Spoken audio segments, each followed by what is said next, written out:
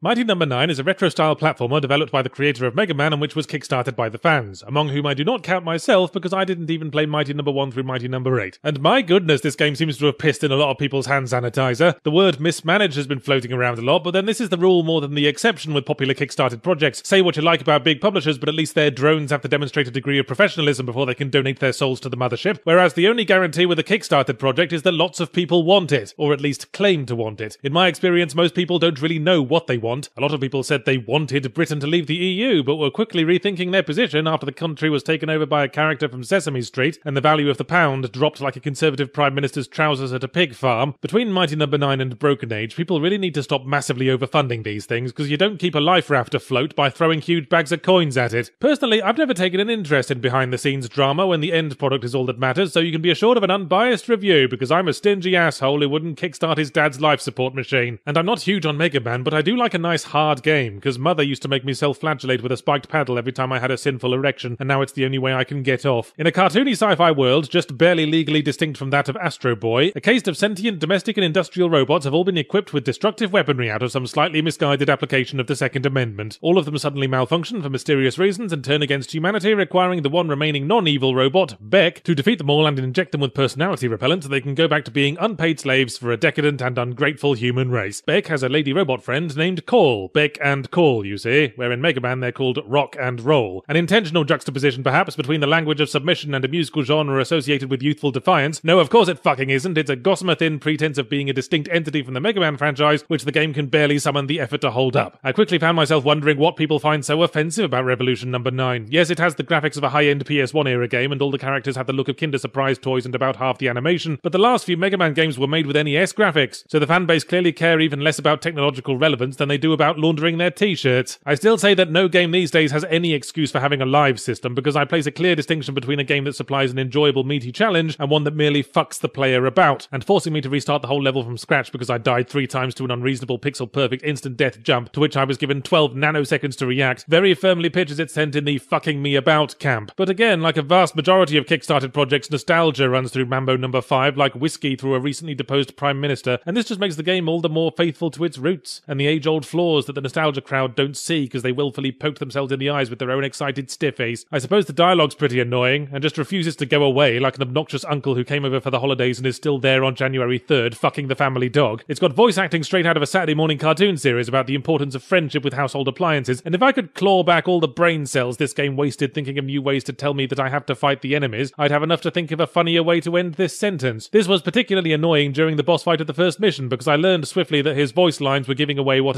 he was about to use. That's American military engineering for you, I suppose. But when I got him down to half health, I couldn't hear his voice lines for a bit because my instructor had decided that now was the perfect time to remind me that I needed to fight the enemies. And with his subtitle and big stupid face concealing part of the arena, my little robot body was promptly taught some of the more advanced yoga positions. If I put my mind to it, I could come up with at least one major annoyance for every part of the game. In the power plant level, for example, the game only thought to tell me about the crouch dash move the moment after I was murdered by the pixel perfect insta kill trap where I was supposed to use it for the first and as far as I know only point in the game. In the underwater level, the water looks like Keith Richards pissed in it, so the visibility is really obnoxiously poor for no apparent reason, unless a rogue level designer covered the walls in medical diagrams of diseased vaginas and no one could be bothered to take them down. And there's another level that takes place entirely in a corridor, again for no apparent reason. A very long, boring, repeated corridor. And to cement its candidacy for Overwatch style most obnoxious play of the game, it's deliberately got no checkpoints. Perhaps it was intended as some kind of on the nose metaphor for kickstarted game development. A long, arduous, inescapable journey full of monsters throwing deadly coins at your head, and every now and again you get insta killed because your community manager said something dumb on the internet. All in all, I felt very little motivation to continue playing when I could have been doing the laundry or waxing my asshole, but I still don't think it's that atrocious a game, just not as rewarding as ripping the hairs out of my taint, and frankly, few things are. It could be that the Mega Man fans are down on it because it's not so much a suck session as a re session. Mega Man is an old and venerable empire of sequels and spin offs with decades of gameplay tweaks and innovations, but 9 is the loneliest number, didn't so much bring something to the table as snatch a few dinner rolls from the buffet and hide under the stairs. Core Lummy, a boss with fire attacks, then a boss with ice attacks. I'd better get off this fucking roller coaster in case my nose gets nailed to the back of my skull. The main innovation, I think, is the dash move that allows you to absorb enemies with low health in return for small temporary boosts and nothing that you might actually need, such as more health or a set of magic insta-kill repelling pajamas. Mighty Number no. 9 is the classic victim of the hype perpetual motion machine to which Kickstarter nostalgia ventures are inevitably fed. It committed its sins before it ever saw the light of day because the people who invested built it up too much and were inevitably disappointed when it didn't heal their leprosy, or travel back in time to assassinate Mecha Stalin. On its own merits, its only crime is being a mediocre game wearing the bra of a considerably better endowed one. You can either waste energy throwing its balled up tissues back in its face, or get over it and motorboat some cantaloupes instead.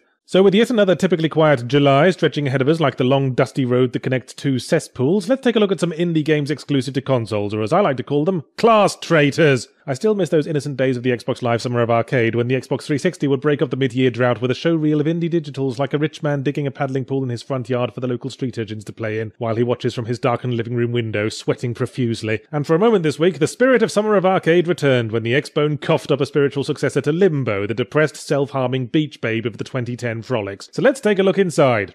Uh, sorry, I meant to say, let's take a look at Inside. And that's going straight onto my list of game titles that are needlessly awkward to Google, alongside Fuse and Wet and Dead or Alive Extreme 3, which is very awkward to Google if your girlfriend ever looks at your search history. Inside opens with a small child lost in a dark forest, and you are given the implied instruction to keep moving right until something tells you to stop. Nothing wrong with having a comfort zone, of course, but one can be forgiven for thinking at first glance that Playdead Studios have merely slapped a sporty red top onto the protagonist of Limbo and left it at that. It's an atmospheric puzzle platformer of the child lost in scary world genre that remains even after all these years. The fast track to indie acclaim, you have a jump button and a pull things button, and you will die like a Game of Thrones supporting actor demanding a salary increase. But while the similarity to Limbo remains stark, things feel a little different when you start getting chased by dogs and scary men with flashlights, and we discover there's slightly more of a plot going on inside. I mean, in inside. Oh, fuck it, I'm just going to call it Thatcher's Britain from now on, alright? Where in Limbo you were an insignificant speck of interest to other characters only as two ounces of a tasty, nutritious alternative to pork, there's definitely something a bit deeper going on in Thatcher's Britain if the authorities are chasing you with scary dogs as we explore the city, we uncover a sinister society where a scientific elite exploit a caste of what could be artificial humans or brainwashed humans or the living dead or Brexit voters. It's all kept in the background and open to interpretation. Your job is to keep moving past the interesting things and try not to get murdered by the interesting things. It's got a handful of new mechanics to puzzle your way around. Since Limbo, the protagonist's head has been reduced in size for improved buoyancy, so now you can actually swim. And there's a recurring mechanic in which you remote control some artificial Brexit voters that at certain points in the game start to make it feel like a somehow even bleaker Abe's Odyssey. But ultimately, none of it fully shakes off the Limbo comparison, at least until the very last sequence of Thatcher's Britain. It is by no means a long game, and there are several elements one feels don't get a proper payoff. What was with that underwater baby thing with the 70s hairdo? What happened to that pig we hung around with? I thought we were getting along really well. But it's the last few minutes that most dominate my thinking when I go over Thatcher's Britain in my head, when the game takes the last exit to Bonkersburg. I very much don't want to spoil anything, but if you've ever fallen asleep while watching Children of Men and had that dream where you're being chased down a hallway by your father's disembodied testicles, it might seem weirdly familiar. A long journey unexpectedly turns into a few minutes of chaos and horror and abruptly stops in a way that feels simultaneously relieving and anticlimactic. It's like watching the never ending story up to one of the scary bits and then shooting yourself in the head. And honestly, I'm not even sure I'd recommend it. Certainly memorable and effective, but I left feeling more depressed than satisfied. Well, if they made Sex and the City into a film, there must be a market for depressing things. Anyway, Thatcher's Britain was only Xbone exclusive for like a week before the Steam release, so let's move on to something that's still console exclusive as far as I know Shadow of the Beast on the PS4, a remake of a classic Amiga side scrolling beat 'em up. The usual line one takes with remakes is what's the point of remaking something that's already a classic? And happily, that is a question that will come nowhere near this venture, because the original Shadow of the Beast was a load of old nobblers in which the principal activity was standing in one place mashing the punch button until everything stopped moving. So it's a perfectly sound idea to try the recipe again with maybe one less cup of diarrhea and one more cup of God of War. And so in Shadow of the Beast, we are the titular beast who resembles a purple dude wearing a Pokemon on his head. We were created as a living weapon by an evil sorcerer. We break free of their control and proceed to murder our way through the sorcerer's minions to take up our list of grievances with the big baddie. So far, so good. Or rather, so far, so God of War. Where the game tries to evoke the game that inspired it is in the combat, which is very much in the spirit of keep pressing the punch button. Enemies approach in single file from in front and back, and most of them can be instant killed with one hit. What's the word for this strange feeling inside me? This cozy feeling of warmth and familiarity that makes me feel like I'm in precisely the place where I'm most comfortable. Oh, I remember.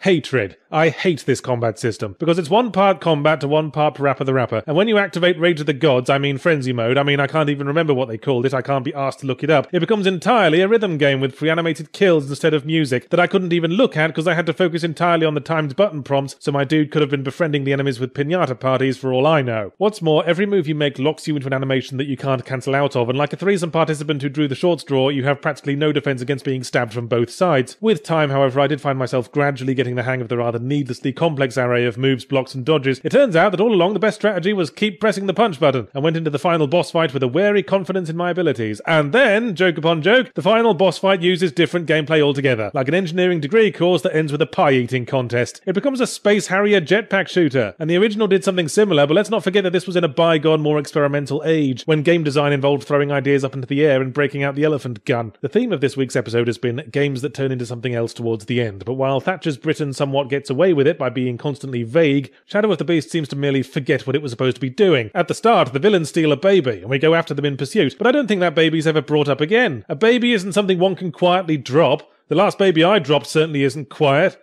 It's always inspiring to see the sub AAA sector lighting itself on fire and shooting for the stars. No retro pixel art or large-headed children in scary worlds for the Technomancer. Oh goodness me, no! It's the Mass Effect and Deus Ex full-on action RPG club that it hopes to blag its way into with its dark glasses and suspiciously bulky trench coat. Have you characters, Technomancer? You bet your bollocks we've got characters, party members, and quest givers every colour of the miserable bastard rainbow. With struggles and adversities you will invest in like a dot-com startup in the late 90s. Have you built us a world, Technomancer? You gamble your gonads we've built a world, a dark and complex cyberpunk world in which battle for supremacy against the backdrop of post-colonization Mars, and there are only shades of grey. I ain't disputing that last part, Technomancer, but probably not in the way you intended. Now have you combat? You wager your wobbly bits we've got combat. Exciting real-time combat with enough variety of weapons and skills to create a staggering number of alternative playstyles. What number's that, Technomancer? Three. There's three playstyles. Hmm, that is quite a staggering number. Alright, I'm down. Why don't you start by telling me the main character's overall goal?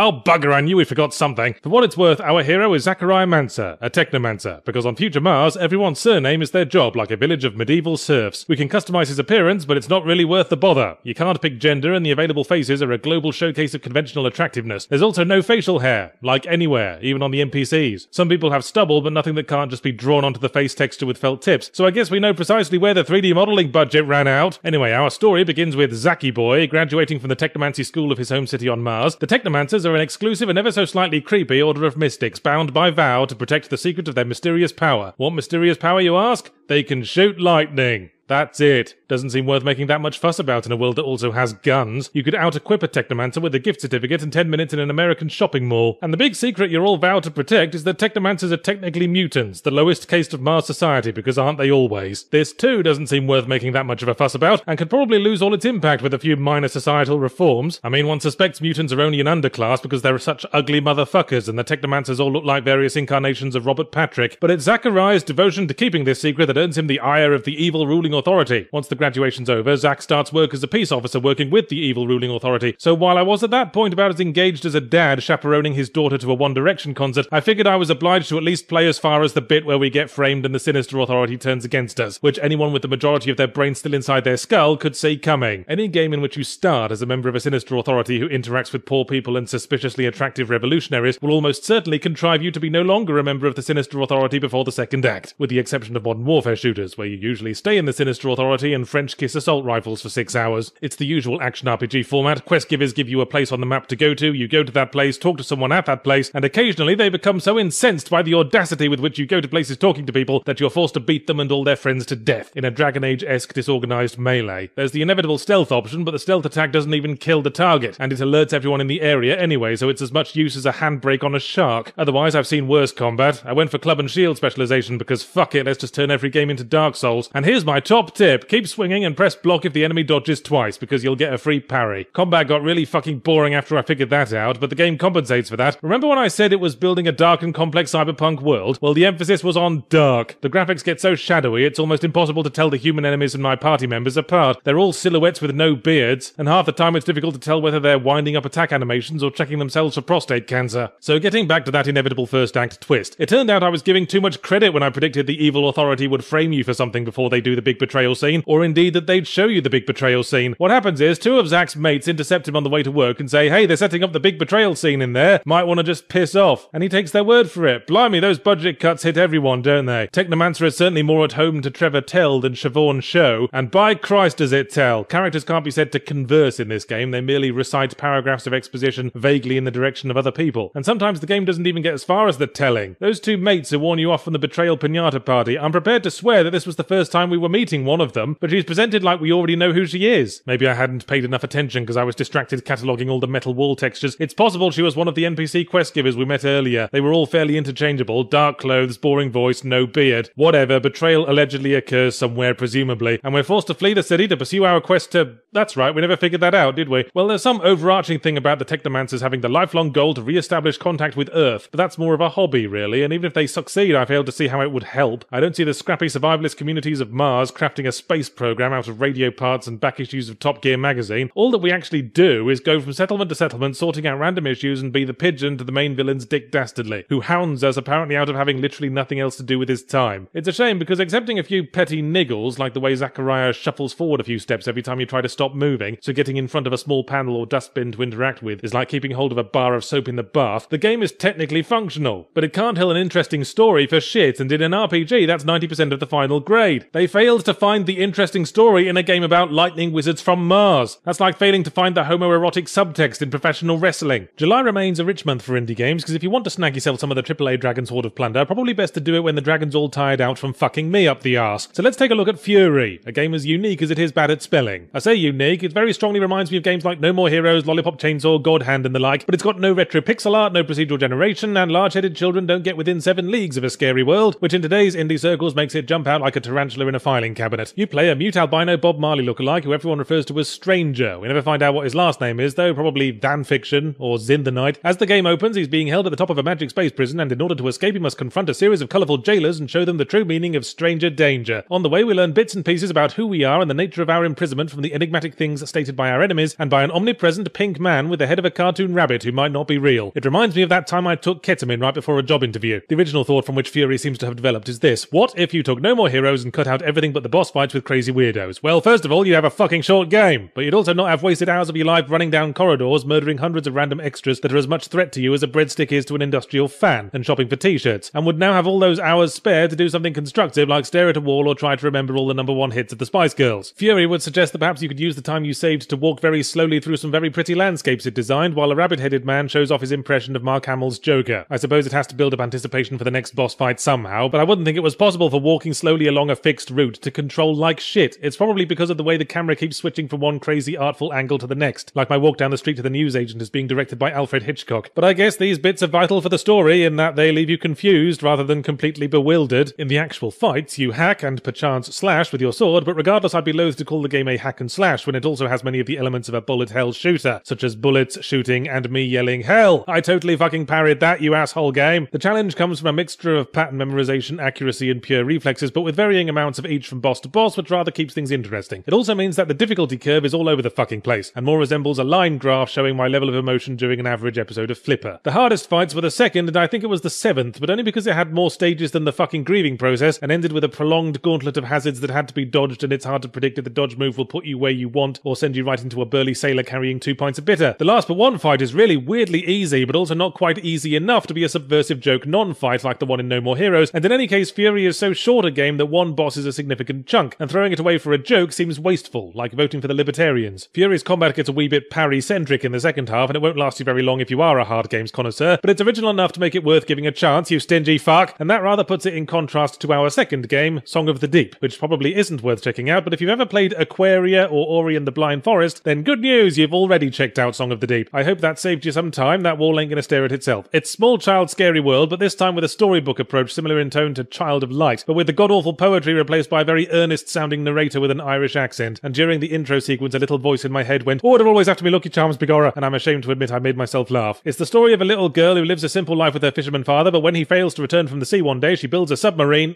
Okay, I'm not going to let you gloss over that song of the day. How does a prepubescent girl whose education consists of reading the labels on the back of her dad's whiskey bottles construct a functioning deep submergence vehicle? It's not like a boxcar derby, you silly moo. Whatever, she goes out to sea to drag her deadbeat dad back from whatever mermaid bordello he's presently drinking dry. It's a Metroidvania game in about the most boring way possible. All paths are locked off until you find the specific upgrade in the fixed linear sequence of upgrades that opens them, so you might as well just follow the objective markers one by one. Full disclosure, I stopped playing halfway through because I encountered a bug in a narrow passage, which is the worst possible possible way to experience buggery. I'd acquired the ability to leave the sub to explore narrow passages, but one time when I did this, the sub somehow glitched inside the passage and I couldn't get it out again. And since I'd found a collectible in the passage, the game very helpfully auto-saved over the only save slot available. Which does rather raise the question of why this game has fucking save points if it's just gonna save wherever it likes. Maybe the save points are for refilling your health and energy meters, but wrong! Your health and energy regenerate anyway. That's probably why the gameplay is about as engaging as pissing in the kitchen sink. So after it bugged out, I said to myself, would I rather restart the game or spend the afternoon circumcising myself with the edge of a rusty tin? The fact that I'm debating this at all will probably suffice as the review. One thing I did get to see was generic boss fight 36 Gamma, Giant Spider. Leaving aside the question of what the fuck's a giant spider doing at the bottom of the sea, the answer being not a whole lot, the boss seemed to be having tremendous difficulty posing any kind of threat. Anytime I ventured close, all it could do was wrap me up in web and then let me go, whereby I escaped from all but instantly. It wasn't a fight so much as a mutual mild annoyance, and I think this encapsulates my main issue with Put Me to Sleep. It feels totally condescending, between the gameplay that's unchallenging in every sense of the word, and the narrator who talks like a nursery school teacher praising a child for sticking crayons up their nose and sneezing on craft paper. Perhaps that should have been my hint that I'm not the target audience for this game, but cast your eye on the developer. Yes, it's Insomniac Games. Ratchet and Clank, Resistance, Sunset Bloody Overdrive. What's a AAA developer doing making 2D small child scary world games? This isn't Secret Millionaire, and that's what's really condescending, that they thought they'd come down from on high to show the indies how it's done and made something so insultingly generic. Stick to the likes of Sunset Overdrive, lads. It's easy to stick to because it's covered in shit. I am Setsuna in my lucrative side venture as a transvestite cam whore, but by strange coincidence, I am Setsuna is also the name of a game that came out last week. It's a JRPG because with a title like that, of course it was going to be either a JRPG or a visual novel about an innocent young schoolmate and all the ways you can fuck her on a subway train. According to the Steam page, the game purports to be inspired by the timeless classic Chrono Trigger, with no apparent pun intended, and I was down for that because Chrono Trigger was a game from the SNES period of actually tolerable JRPGs before they became overwritten, overdesigned claptrap, full of interchangeable characters who have to get up at 3 in the morning to be properly dressed for dinner. Sadly, I Am Setsuna hasn't taken inspiration from any part of Chrono Trigger that mattered, such as the unique characters, imaginative plot that develops in interesting ways, or variety of environments with more than two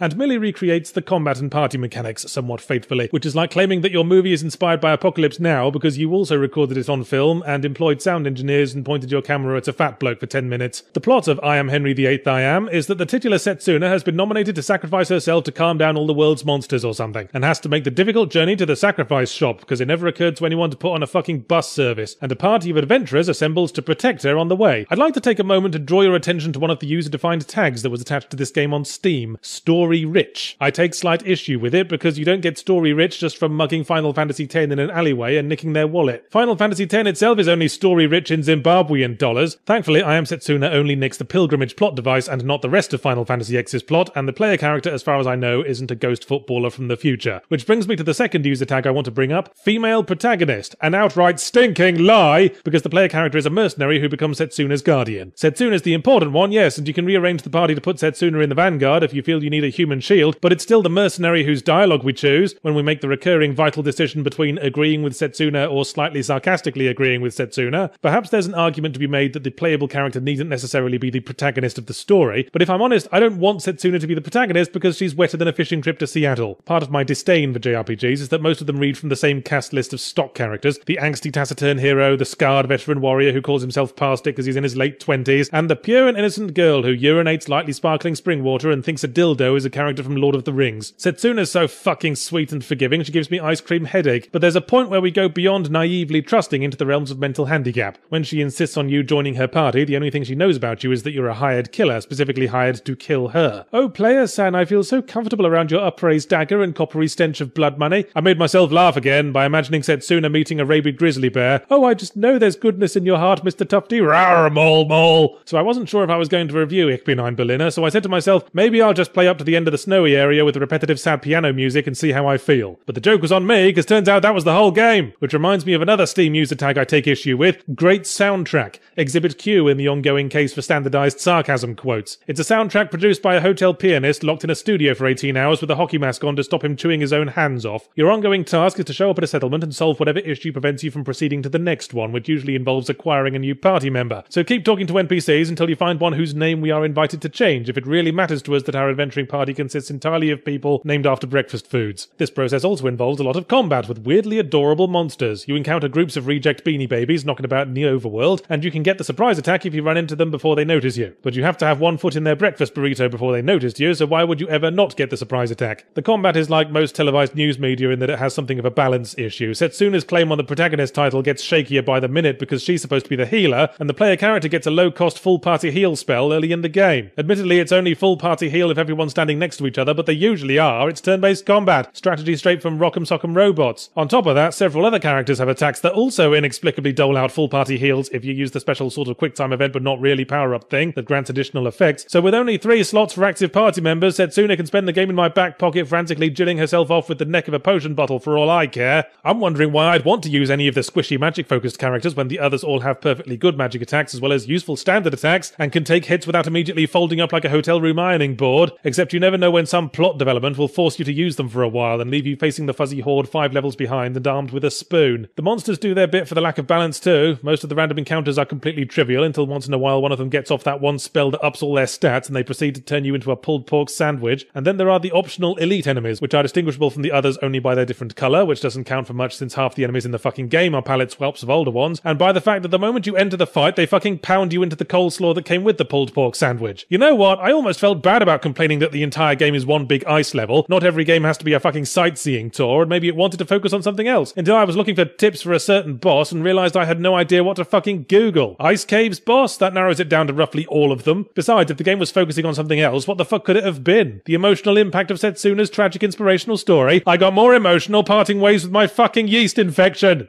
It's early August, No Man's Sky doesn't kick off the pre Christmas release schedule till the 9th, and I'm finding blood in my urine, so you know what that means. I've undergone severe kidney damage, and it's time for another indie double bill. This time with a bit of a retro sci fi theme as we kick off with Headlander, a game by Double Fine in which you play as a disembodied head that flies around and lands on things. So at least the title's not as misleading as Day of the Tentacle, which I thought was going to be a documentary on the origins of Japanese fetish porn. In Headlander, you wake up in the far future to find that most of your body has gone walkabouts, and yet you're still the most intact organic life form in the universe, as everyone else has been digitized and put in robot bodies. Then, through no conscious effort on your part, you become involved with a resistance movement against a sinister overlord so that the human race can win back the right to their organic bodies and the freedom to get verrucas and Alzheimer's disease and poo their pants. I want to know if there's any option to go back and forth. Sure, I'll take the organic body for my afternoon wank, but I wouldn't mind being a giant robot tarantula when the time comes to help someone move. All of this is presented through a 70s sci-fi aesthetic. There's even a shootout to the sound of Joan Baez's song from the Silent Running soundtrack, and Christ knows how many players they expect to get that. There's also a comedic tone, which is not quite the same thing as being funny. I do sympathise with Double Fine. They've made their name with funny games, so they clearly feel an obligation to keep the same tone going. But in Headlander, an obligation is precisely what it feels like. Yeah, there's some humour value in the very Douglas Adams esque joke wherein the turrets have personalities and apologise every time they fire, but by the 300th apology, the titters have become very saggy. The point I'm desperately groping for, like the tissue box during my vinegar strokes, is that the plot and setting aren't inherently funny the way, say, Psychonauts were, so it doesn't feel like a comedy game so much as a game with way too many comic relief characters, like a production of Henry IV with 17 Falstaffs. And now I've raised the intellectual tone of this review a bit, let's talk about blowing up robots with lasers. Headlander is a Metroidvania game where the core premise is that you can detach your head and stick it on different bodies to acquire different abilities and access different areas. Thematically, not dissimilar to the body swapping mechanic in Double Fine's earlier game, Stacking, which makes me wonder if we've inadvertently discovered Tim Schafer's fetish. I had to play the game in short bursts because I found it rather boring, and it's not any one thing that brings it down. Progress is locked off by a linear sequence of color coded doors rather than any organic movement ability, and in combat, the rooms can get so filled with enemy lasers that it overloads the senses. But if the enemies shoot your current body enough to blow it up, you can easily nick one of theirs,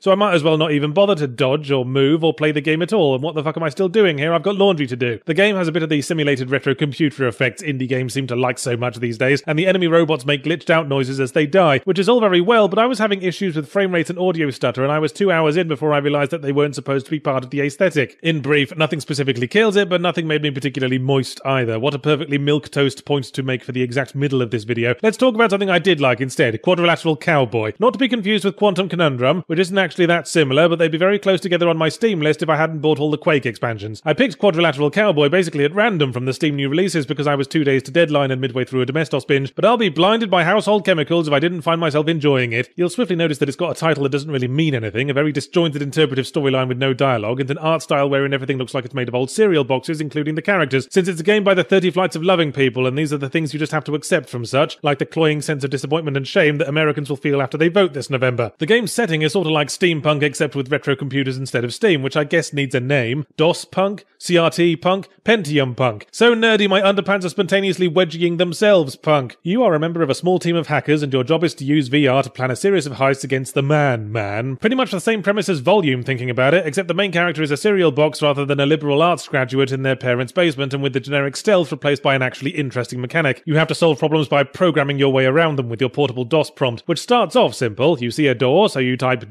door1.open and sit back awash with the pride of a newly blooded hunter, and by the end you're binding complex commands to a specific blink sequence so that you can remotely disable a laser grid at the precise moment your self-satisfied erection would have tripped it. It's a game about careful preparation rather than twitch reflexes. It specifically appeals to me because I've been known to code it up myself now and again, and there's something very satisfying about finding the quickest, most elegant solution. Or it could be that the mere act of typing my commands makes me feel like a hacker in a Hollywood film from the late 90s, as long as I crack my knuckles a lot and say tragically outdated things that a middle-aged screenwriter once heard on an episode of Teenage Mutant Ninja Turtles. My major complaint is that there's just not enough of it, right? As enough mechanics have been added to the coding gameplay that it's starting to get interesting, the game drops it all for two missions, where out of nowhere you solve puzzles with the old multiple iterations of yourself chestnut that in puzzle games in this day and age might as well be replaced by footage of a man saying etc etc while making a faintly masturbatory gesture with their wrist. The coding comes back later, but I never felt like there was a point where everything we had learned came together for one great climactic challenge before the game abruptly ends, in a and they all lived happily ever after now piss off sort of way. I like the core mechanic, but I get the impression the game's less interested in exploring it to the full as it is in pushing it through the, dare I say, ever so slightly pretentious storytelling elements. You want to make everyone look like Tupperware snowmen, that's your bag, but the story itself left me cold because the characters have unclear motivations and never experienced much adversity. Gameplay is like a jar of peanut butter. It might be fun to stick your knob in, but kindly wait till after I've made the sandwiches.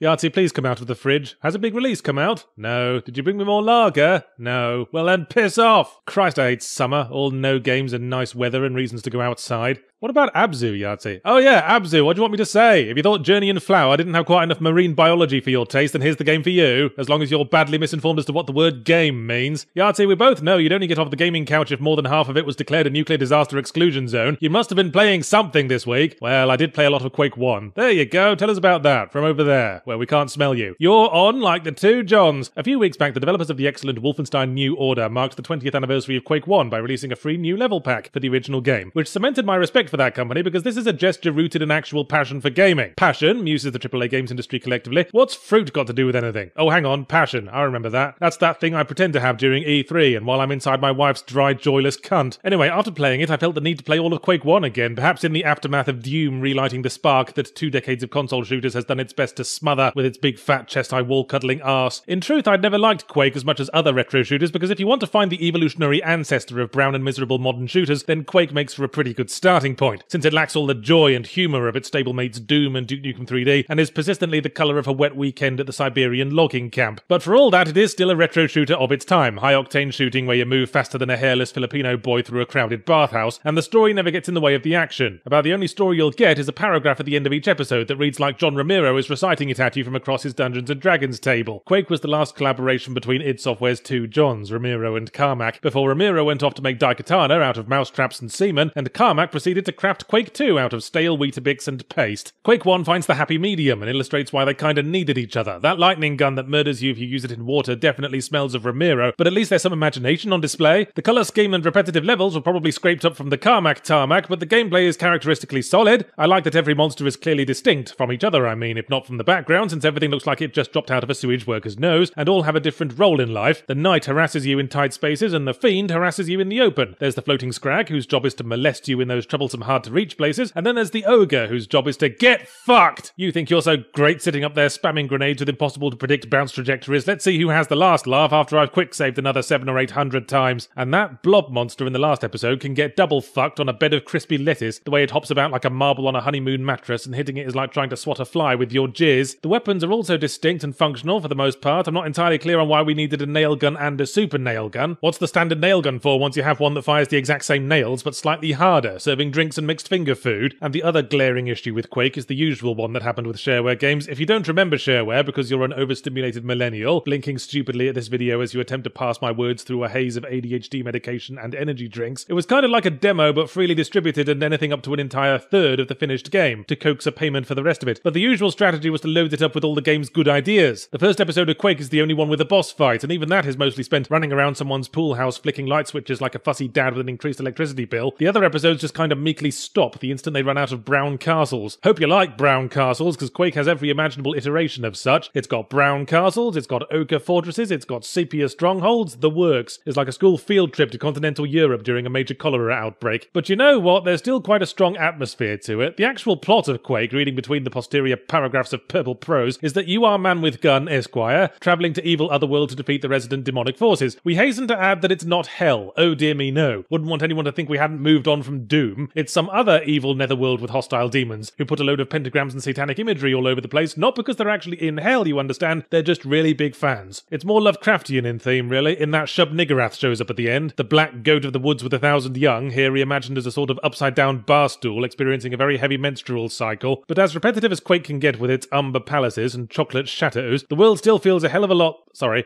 hostile extra dimensional territory mildly reminiscent of hell of a lot better realised than the world of Quake 2, which actually did have cinematics and story objectives, but was, in practical terms, a string of identical grey brown military bases full of hybrid human and forklift monsters. Maybe it's just the fantasy setting that gives Quake 1 the edge, as it adds the intimidating sense that our big chinned hero is somewhere he doesn't belong. Or maybe it's the rather lovely sound design that heaps on the bleak otherworldly atmosphere and gives each monster a unique identifiable voice. Although one does wonder why all the knights make noises like an aging Marlon Brando having an orgasm. As one of the first fully 3D FPSs, it's fun to look at Quake as part of gaming's collective learning process. Mouse look? Why on earth would you want that on all the time? How often will people want to look away from the horizon? I mean, honestly. But Quake 1 was a pioneer in more than just the technical field. It's probably one of the first retro shooters to be entirely consistent in tone. A slightly laughable tone. I mean, this is a game that gives all its levels names like The Tower of Despair, and the map list reads like the first album from a high school goth metal band. But compare that to Duke Nukem 3D, where pop culture references and monsters going to the toilet are right alongside the captured, violated women begging for death. Quake represents PC games maturing out of the in-jokey fucking about and into awkward, angsty pubescence for better or worse. Later, it would go off to college in Half-Life, join the military for Call of Duty, and get all its arms and legs blown off in time for Gears of War. Games with a theoretically infinite amount of content are all very well, but I don't think the developers ever consider what the fuck we're supposed to do with it all. I mean, my kitchen sink can produce a theoretically infinite amount of water, but once I've stopped being thirsty and I'm as clean as I'm ever going to get, and cooked all my spaghetti and filled all the condoms I intend to throw at the bailiffs, then what am I supposed to do with the rest of the stuff? A question worth considering as we take a look at No Man's Sky, a game about exploring a theoretically infinite universe of possibility. Which is a shame because Elite Dangerous is also about exploring a theoretically infinite universe of possibility, and I don't really have room for two theoretically infinite universes in my house. I already sold most of the furniture to make room for all the cooked spaghetti. The setup is you wake up on a mysterious planet next to a crashed spaceship, and after repairing it with raw materials gathered from the surrounding wilderness, you can begin an epic journey to nowhere in particular for no given reason. You gather the fuel to hyperdrive to star system after star system, following a line that eventually leads to some kind of geometric ancient space wonder someone nicked out of a Bungie game that gives you a prize bag and another line to follow. The main question for me was what the hell I was supposed to be progressing towards. The ancient space wonders were all shrugging their monolithic shoulders at me. Maybe I'm supposed to be gradually crafting and upgrading my way to the best possible ship and equipment I could have. But the problem with that is there doesn't seem to be any use for your ship and equipment except to find stuff to upgrade your ship and equipment with. Besides that, there's also a laundry list of developmental milestones to reach, most of which are breathtakingly inane, and I could really do without the fucking awards ceremony every single time you get one. Congratulations, you have scratched your ass 20,000 times. Here's a prolonged jingle while this text selfishly hogs the interface for 30 seconds so you can't interact with anything. Congratulations, you have contracted radiation poisoning from a planet's toxic atmosphere. Here's another j- congratulations, you have died a total of 100 times from radiation poisoning while inches from safety because you can't get inside your ship while I'm telling you about all the milestones you've achieved. What are you, Yacht? An emotionless Scotch egg powered robot that shuts down when it hasn't had instructions on punch card pushed up its ass that morning? It's not about winning or reaching the end, it's about the exploration and appreciating the unique sights of the cosmos, man. The thing about exploration, my little pubic louse, is that the appeal lies in the finding. You can explore a sheaf of blank printer paper for an afternoon, but it wouldn't exactly stimulate. There's nothing to find in No Man's Sky you can't find in about 500 million other places. If I ever find myself badly in need of a futuristic shed containing a bench with some Christmas lights on the side, then I can land on literally any planet and start walking in any direction. Every planet is unique, strictly speaking, but every human being is unique, and it's still hard to appreciate that when you're queuing up at the post office behind nine old people who all want to pay with luncheon vouchers. Oh, look, this planet has a unique species of quadruped with three horns and nine armpits, but all that it's actually going to do is either wander aimlessly about or run up and nibble your bum. And the crafting system says it all. You kill this one of a kind creature with its unique evolutionary history and are rewarded with some carbon, which you stack on top of the identical carbon you got from the unique and complex creature you murdered in the star system next door. The crafting's not exactly intuitive either. In Minecraft, you put a long stone shape on the end of a bit of wood and one spool of implied duct tape shape later, you have a sword. With the slightest rearrangement, it can also be a pick or a shovel or a rather uncomfortable rectangular sex toy. Meanwhile, in No Man's Sky, you take your hard earned carbon and turn it into a green thing that has no use, except it can be turned into a purple thing that also has no use, except that it can be turned into warp fuel. Why not just have us bung a load of carbon in the gas tank and bang our kneecaps with a crowbar for a few minutes? Run out of takeoff fuel on our planet, and you might have a moment's drama from having to scavenge more, but then you find some stuck to your shoe after walking 10 feet, and there's no point exploring much further because your inventory space is the size of a Virgin Airways carry on baggage allotment. And I swear, I probably found upgrades to my laser gun more often than I got into actual fucking combat with the thing. Not every planet has animals, not every planet with animals has hostile animals, and even when it does, there's usually plenty of desolate wasteland to go round. If you need carbon that badly, just land near some trees and inhale a few times. In brief, I was having trouble finding the gameplay in this game. I understand the principle of making your own entertainment, but this isn't that. Elite Dangerous is that because it's complex enough that you can choose the path of trader, fighter, or explorer from one of hundreds of possible routes, and at every junction you're extracting in between challenges from having to land your ship inside a space station without banging into a control tower and knocking your pint of Guinness out of your cockpit drinks holder. No Man's Sky denies you even that. Press one button to take off or land, and the game does it all for you, assuming it doesn't make you clip inside an inexplicably hovering ore deposit that's totally meant to do that, not a bug, no really. When you're in flight, the game will even automatically pull up to stop you smashing into the ground, no matter how perfectly justified your urge to end your tedious existence. It's baby's first Elite Dangerous is what it is. We're strapped into our fucking ultra safe high chair of a spaceship to stare at the huge friendly typeface of a simplistic GUI that looks like a Windows 10 menu by way of the IKEA catalogue. I feel like you still haven't learned to appreciate the unique beauty of the cosmos, Yard. Hey, I'd appreciate it a lot more if it wasn't constantly popping in like your least favourite neighbour and making the game as immersive as a gravel pit. When I'm descending through the atmosphere of a planet, you could at least put up a view obscuring cloud effect so I don't notice the terrain below me switching blatantly to full 3D rendering from blurry 2D Google Maps O vision. No Man's Sky feels like one of those crafting survival games that keep popping up on Steam like Boomtowns in the California Gold Rush and are just as likely to still be populated a few years down the line, but with a load of added pressure to perform that it can't live up to. Maybe if we'd been able to build things, complete the Minecraft comparison, give us a reason to go back to places rather than stampede through space, hoovering up resources and space STDs. Not much creative fulfillment to be had in renaming the things we discover. I discovered way too many interchangeable things and ran out of euphemisms for genitalia. Does the name Spore ring a bell? Remember what a big thing that was supposed to be before its big idea for galaxy spanning gameplay turned out to be a bunch of little ideas strung together, none strong enough to sustain interest. You know what they say, he who forgets the past is condemned to resit history A level. Grow up is a phrase I seem to hear an awful lot when talking about my job in mixed company, and it is also the name of a sequel to Grow Home, the Ubisoft physics platformer. I say physics platformer, the game itself would probably say, hey, there's platforms and you can physic around them if that's your bag, but if you just want to chill, that's cool too. Grow up, I had to put up with enough of this chill out shit from No Man's Sky. Give me a fucking challenge or I'll physics you. Oh, fine, find the 150 collectibles. That'll do. I will chill after the game has worked my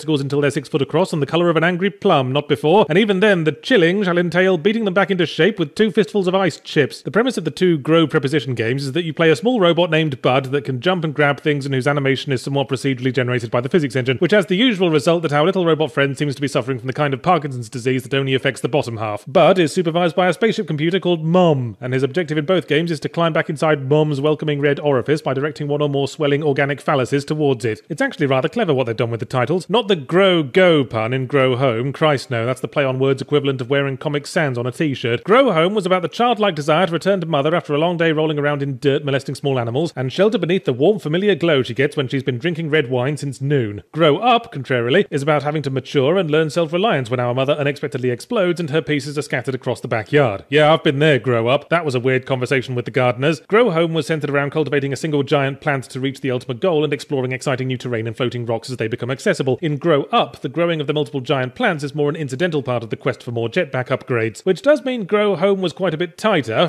Whoa, it's getting more Freudian by the minute in here, isn't it? Someone start getting the ice chips together. In Grow Home, you can get to the top of your flower tower, look down, and there's everything you need to worry about right there. But Grow Up takes place on a Mario Galaxy style tiny planet surrounded by more floating stones than the Keith Richards ketamine party. Points on for freedom of movement and exploration, and points off for figuring out where the fuck I'm going. I look at nondescript floating rock number 731 Gamma, and after consulting my extensive paperwork, realize I haven't looked it over yet. But as I'm heading towards it, I get momentarily distracted by a farting wasp, and when I look back, I've forgotten which of the cluster of 17 identical floating rocks was the one I was heading for. We fall back on using the map and objective markers, and that's when we realize what Ubisoft have done. They've turned it into a Ubisoft game, which is to say a sandbox cluttered with repetitive mini challenges with all the joy of exploration and discovery one gets from spending six hours staring at a plate of overcooked pasta. So all you can do is go back to the map screen every five minutes, stick an objective marker on the icon of a thing you want, and make a beeline for the massive glowing indicator like a greyhound focused squarely on the rusty bum hole of an artificial rabbit. Well, it's not that bad. You have a jetpack, so it at least kicks shit like the Division into a roadside ditch and bangs its frumpy wife. It's just that the jetpack comes on a bit too strong for my liking. You know how it is. You're out on the town, there's an aging jetpack sitting at the bar wearing too much makeup saying, Why don't you buy me a drink? Sugar, I make climbing completely trivial after only a couple of upgrades. Come on, I'll call my girlfriend's infinite glider and infinite parachute and we can have a great big saucy party. Then it starts trying to put its arm through yours and you have to scrape it off on the side of a moving subway train. The Grow Home jetpack was a coy little thing that could just about simulate a medium to severe bout of Vindaloo flatulence, and the parachute and glider were both temporary pickups. But even as the retarded shark of modernity bites the last few mouthfuls from my raft, I will still cling stubbornly to my central mass, which states that video games have to be some kind of game, as in a challenge, rather than Ubisoft's current idea of a game, which is 500 trivial button pushing instruction following exercises scattered randomly across a map like cigarette butts on the pavement outside an appeals court. Grow Home had a nasty habit of gluing half the collectible crystals to the underside of floating continents, so you'd have to carefully monkey bar your way to them, and the climbing controls apparently recently suffered a death in the family and just can't keep their mind on the job. Is my left hand clinging securely, climbing controls? What? Yeah, whatever, you're fine. Release, plummet. Oh, you meant clinging to the rock. Sorry, I thought you meant clinging to a sense of purpose in life. But in other words, it was a challenge, and to my mind, struggling against the engine is half the fun of a physics game. The mere act of walking Bud across slightly unlevel ground has the inherent skill challenge of trying to get home after a martini tasting. Freely jetpacking and gliding everywhere might make for some lovely screenshots, but when I'm beating every race challenge first try with 30 seconds to spare, then calling them challenges risks action from the Advertising Standards Authority. And incidentally, were race challenges really the only thing you could come up with for side quests? In sandbox design, that's fucking level zero. That's the free ink cartridge that comes with the printer and holds about as much as your grandma's bladder on a long car journey. I like the balance between Zen fuckabout's freedom and actual skill progress that is struck by Grow Home, and I'd say the first half of Grow Up. Grow Up gives you the ability to recreate any special plant you find, like the ones that will launch you high into the sky if you can persuade the physics engine to let you sit on it without breakdancing right the fuck off it again. That's for progress, or you can build a fortress of giant cacti that don't do anything except look vaguely like bell ends. That's the fuckabouts part. But the plants become obsolete once you get up to a certain tech level. Who needs to get jizzed into the air when my jetpack can do the same without needing to be excited to orgasm by my frantically jiggling leg? Perhaps there's a hidden meaning here. In Grow Home, the temporary parachutes and gliders were plants as well, but in Grow Up, they're permanent extensions of your cold, emotionless robotic frame. Doesn't take Northrop Frye to find the subtext there. Collaboration between technology and nature is an inherently temporary arrangement. Now we know why we're a robot alone on a spaceship. What remains of the human race is probably minced up inside the gas tank. Put your mouth over a jet powered soft serve dispenser and get ready to cream out of every orifice because there's a new Deus Sex sequel. Or rather, a sequel to the prequel to Deus Sex, Deus Sex Human Revolution, which I think was about some kind of prostitute uprising. While Deus Sex Mankind Divided is about an agreement being reached and the sex humans going back to spreading themselves for all and sundry. None of that is true. Mankind Divided is, however, the second installment in the life of one of gaming's newest and hottest personalities, Adam I Never Asked for a Throat Lozenge Jensen, best known for his iconic pointy face and voice like a coffee grinder trying to seduce an asthma inhaler. Fans have learned to love his incredible strength of character that compels him to always do the right thing, or to always do the wrong thing, or to go back and forth between doing the right thing and the wrong thing, depending on his mood, his remaining stun gun ammo, and whether or not there are any vending machines to throw at people. Because this is a Deus Ex game, and you know what that means choice and consequences, cautionary cyberpunk near futures infused with relevant societal issues of the day, and a protagonist who'd get cut out of a Matrix sequel for taking themselves way too fucking seriously. In the aftermath of the climax of the previous game, when someone drove all the mechanically augmented humans kill crazy by doing the equivalent of posting an honest review of the new Ghostbusters on the internet, humanity is reeling from the attack and augmented humans are regarded with fear and suspicion, on the off chance that something might flip the crazy murderer switch again at any moment. So welcome to episode 2 of the clumsiest racism analogy in all of speculative fiction. You can't split humanity into augmented and not augmented because having oven hobs instead of nipples is not a trait unique to specific families, unless babies are having their legs snapped off as they emerge from the womb and replaced with shelf brackets. To say nothing of the fact that you can't make the few bad apples argument if literally every augmented person went off their hydraulic cyber trolleys and a certain amount of fear might be justified if no one knows that the insane murderer switch isn't still lying around somewhere for some family dog to accidentally trip while rubbing his ass on the carpet. Hey, remember how in the original Deus Ex augmented humans were a pretty small minority and no one made much of a fuss about them because hey, turns out a bloke with JCBs lodged in his armpits is a useful thing to have in a peacekeeping force or when some furniture needs assembling, and the most of the conflict in the setting of that game was rooted in the divide between rich and poor and insidious population control orchestrated by corporate interests in the media. Oh no, such themes would be completely irrelevant in the current climate, especially since AAA game publishers haven't finished paying all the installments on their nuclear equipped supervillain bunker on the moon. Let's just make it all about the people putting sandwich toasters in their kneecaps. Adam Jensen finds himself stationed in Prague as part of a top level anti terror organization whose higher ups are quite possibly, obviously, blatantly, definitely being leaned on by the secret world government, which you might recognize as being the starting premise of pretty much every Deus Ex game. Fortunately, they save a bit of time by having Adam already working undercover for the secret pro freedom resistance, who you can tell are the good guys because they're much more racially and sexually diverse. Things explode, tensions rise, and Adam must choose whether to side with his fellow augmented or the obviously corrupted militant fuckheads who hate him. Maybe it's not as straightforward as that, but even as Mankind Divided makes use of the time honored Deus Ex tradition of dropping us in the middle of a nuanced nuanced situation with nothing but a fish slice and a couple of pages that fell out of a social studies 101 textbook, there's no obfuscating its way out of blatantly being Deus Ex Another One, the game. It hits all the same beats as reliably as a one hit wonder playing their annual comeback tour. You're based in a hub city where you rub shoulders with every level of society. There's an inexplicably high tech laser security system in the sewers. At one point, you have a boss fight with a ridiculously huge augmented bloke with a comically overdone accent. They even replay the whole subplot about Adam discovering and getting to grips with all the retro consoles and kitchen appliances that someone sewed into his fat ass without his permission. How, you ask? Well, apparently, after the end of the last game, and incidentally, the game couldn't give two squirts of motor oil infused spunk which button you pressed on the ending Tron 3000, and I suspected it couldn't at the time either, Adam spent some time in a coma clinic and someone implanted a fresh batch of Game & Watch handhelds into his buttocks. Blimey, Adam better hope he never goes to robot prison. There seems to be something about his bum that makes people want to stuff it full of hardware every time he goes to sleep. Mankind Divided is a textbook expansion pack sequel, but the problem with that is that Human Revolution was just okay. And when you do a copy paste of a game that's just okay, then any positive feeling the good bits might have given us falls away as the annoyances repeat themselves. I can't stand the way the game goes to cutscene every time you take out a guard or break a wall or break wind, with a pause, a cinematic fade to black, and a musical sting as Adam ceremoniously farts with the tenor saxophone implanted in his rectum. It's about as conducive to the flow of gameplay as a fat bloke jumping on a ski lift. The upgrades are still pretty shoddily designed as well, with a lot of redundancy. Want the ability to mark five targets? Not really, since I can see them all on the radar anyway, and marking them requires me to pop up from cover and gormlessly stare at them for a second like they're my high school crush and I'm hiding in their dad's rose bushes. Well, then, how about the ability to mark 40 targets? There's nowhere in the game where there are that many, but it'll come in handy after you get bored and switch to playing Serious Sam instead. I also resent how it doesn't matter for shit whether you take the lethal or non lethal approach, because I always take the stealth option on the off chance the game has the balls to have consequences, and the slightest mistake leaves me completely surrounded by all the ungrateful bastards I permitted to live. Half the time it wasn't even my mistake. I'd be trying to stealthily kangaroo my way across the rooftops when Adam would decide that grabbing the next ledge would ruin his manicure and drop into a dumpster full of bells and air horns. What I'm saying is that Human Revolution had more room for improvement than this. Yes, one or two complaints were addressed. Lo and behold, the boss fight has a stealthy option, sort of, but take careful note of my phrasing there. Boss fight, as in singular, as in this game is as insultingly short as a budget gob job. There's only one hub city, and after getting dicked about by the Illuminati for about half the length of an acceptable Deus Ex game, everything abruptly ends with Adam Jensen vowing to get dicked about a maximum seven or eight more times before totally asking them to pack it in. And that's what kills it more than shoddy gameplay or half-baked premise, which in Deus Ex is almost part of the charm. I mean, come on, augmentation racism, where's the dividing line? Alright, Mrs. Stevens, we've successfully fitted your pacemaker, now piss off to the ghetto, you aug scum! The relationship between Nintendo and its fan base is a royally fucked up one, I think it's fair to say, and all that business with broken televisions probably classifies it as abusive, albeit the kind that's gotten so weird that the domestic violence shelter eventually blocked their number. If it were just Nintendo getting drunk and punchy because nobody bought the new Mario and Sonic at the Olympic Games, then perhaps it could be understood. But there are some bizarre mind games going on here as well. Nintendo fans, don't you see that this isn't healthy? Remember when Nintendo abandoned you on the highway because it thought it had a good thing going with the casual gaming audience and you had to hitch a ride home in the back of a dog catcher's van? No, no, they apologized for that. And it was my fault anyway. I should have liked Wii Music more. Things have reached a new low with Metroid Prime Federation Force. It's not just not catering to the fans anymore, now it's going out of its way to finally break their spirit once and for all. It's like Nintendo promised to buy them a puppy and they came downstairs on Christmas morning to find a load of Korean takeout containers under the tree. If you're unfamiliar with Metroid and think it's the word for a hemorrhoid exclusive to people who ride inner city public transport, Metroid is a classic series of sci-fi exploration games and the protagonist, Samus Aran, is as inseparable from them as a dose of the herbs. A stoic independent space bounty hunter fighting a lone crusade against the evils of the galaxy, except in Metroid Other M, where she was a squeaking Catholic schoolgirl wearing a collection of plastic mixing bowls. Meanwhile, the Federation are a military force that occasionally show up in Metroid games to get indiscriminately murdered and humiliated by whatever needs to be established as threatening today. Making a game entirely about them is therefore precisely the same logic that brought us Aliens Colonial Marines, another game that was a dripping stalactite of frozen piss above a once respectable dinner party. And what makes it all the mightier a kick in the tits is that there was no need for any of this. Federation Force looks and plays passably like a Metroid Prime game with the usual 3DS provisos that turning around is as ponderous as a merry-go-round full of elephant seals and playing for too long makes my hands feel like a pair of broken deck chairs frozen to the pier in a Blackpool winter. So why didn't they make another Metroid Prime game with Samus Aran in atmospheric alien worlds in the free exploration Metroidvania style to which the franchise once lent its name, instead of something very conspicuously un-Metroidy besides the fact it stole Metroid's underpants and wore them on its face? Why must we play as a midget inside a robot suit and since the missions are spent more or less entirely inside the robot suits, why even establish that we're actually tiny Rice Krispie elves, except to make things all the more humiliating? I can tell you that it's not because they didn't want to include Samus Aran, because she constantly shows up in dialogues and mission briefings. It's like the game's holding her over you like a cruel dog owner whose closed hand might not even contain a biscuit at all. Samus Aran just showed up and told us about another pirate base. Shame that you missed her. She's so cool and stoic with cracking tits. She also brought us some homemade fudge, but we ate it all before you got here. The only justification I can see is that the game goes for four-player co-op focus and there's only one Samus around to go round. But if four clones of Luigi can be sucking each other off in Luigi's Mansion 2, then I'm sure Samus could have gotten a sorority sister slumber party going. Besides, who the fuck turns to the 3DS for their online multiplayer focused games? I'd nominate a more suitable platform, but my list basically starts with all of them. Or are Nintendo still trying to normalise the idea that people might show up to a dinner party with their 3DSs as an alternative to post-prandial Pictionary without it seeming weird? Perhaps a more realistic scenario in a school setting, but it still hinges on not only at least four people buying this game, but on them also not being ashamed to admit that they bought this game. The story is there are three planets the ice world, the desert world, and the world that also turned up, and the Federation are tasked to go there and murder wildlife until the space pirates appear, which we know for absolute fact will happen because at the start, the commander type bloke goes, Don't worry, there's no way the space pirates will show up, rather than each planet having a big interconnected world to explore like it was some kind of fucking Metroid game. It's entirely mission based and we get dropped into small collections of rooms to complete single objectives. There is a solo play mode, but it is a trap. It'll sucker you in with some easy stuff early on, but eventually we'll bring out the missions that are next to impossible without other players. There'll be 500 of those space pirates that totally weren't going to show up, smashing up the thing you're supposed to defend, and you can have all the missiles in the world, but you can only be in one place at a time, slowly rotating like a microwave dinner. There is also another multiplayer mode, which is Rocket League. That's about all there is to say about it. It's Rocket League, except everyone's shooting at the ball instead of hurling themselves at it like six excitable dogs with only one biscuit. And I imagine it would have been very thrilling if I could have persuaded the connection to remain intact for the duration of an entire match. You know what? I have formulated a theory. From the things we hear in the mission briefings about how Samus Aran has been running around off screen being the best at everything, Federation Force feels like the Darkness 2 style co op campaign running in parallel to the plot of the main single player campaign that isn't actually there. So maybe there was an actual Metroid Prime 3DS game being developed at some point that had the shitty multiplayer mode that must exist as part of the game industry's pact with Satan, but resources ran thin and something had to be cut out, so they cut the single player campaign because the crazy pill salesman came around that morning giving out free samples. And then someone said, wait, people will be annoyed about this decision. And their boss popped another crazy pill and said, you're right, we'd better put in a soccer minigame to mollify them. After all, the kind of fanboys who wasted their tender years learning to speedrun Metroid on the slim promise of pixel titty are also notoriously keen on team sports. Metroid Prime was the game that successfully translated the atmosphere and feel of Metroid to a 3D first person format, but Nintendo seems to have treated it like the red-headed stepchild ever since. First the sequels were kinda shit, then it's officially declared non-canon in favour of Other M, which is like taking away your child's Christmas present so that the cat can choke to death on it, and now this. Oh, stop comparing it to the Metroid you wanted it to be, Yahtzee. Can't you just accept that Nintendo wanted a new direction and made something a bit more family friendly? After all, they've only got like 90 billion other franchises that do that. Well then, why did they even call it Metroid Prime? Except to deliberately fuck with Metroid Prime fans. They could easily have chucked Samus around in the airlock and more honestly called it Interstellar Midget Footballers, or Tangential Metroid Universe Thing starring the cast of Willow, or Don't Buy This Game It's Shit. Is it me, or is the big release period starting to pull a reverse Christmas, that is to say, getting later every year? If all you want is ports of stuff we already know is good, then your quid's in right now, Lieutenant Lags Behind, Resident Evil 4, Dead Rising 1 and 2, and the Bioshock collection are all out on Xbone and Pisspoor this week. You'd almost think AAA publishers have become a bit risk averse. Surely not, they've always seemed like such sprightly and adventurous, enormous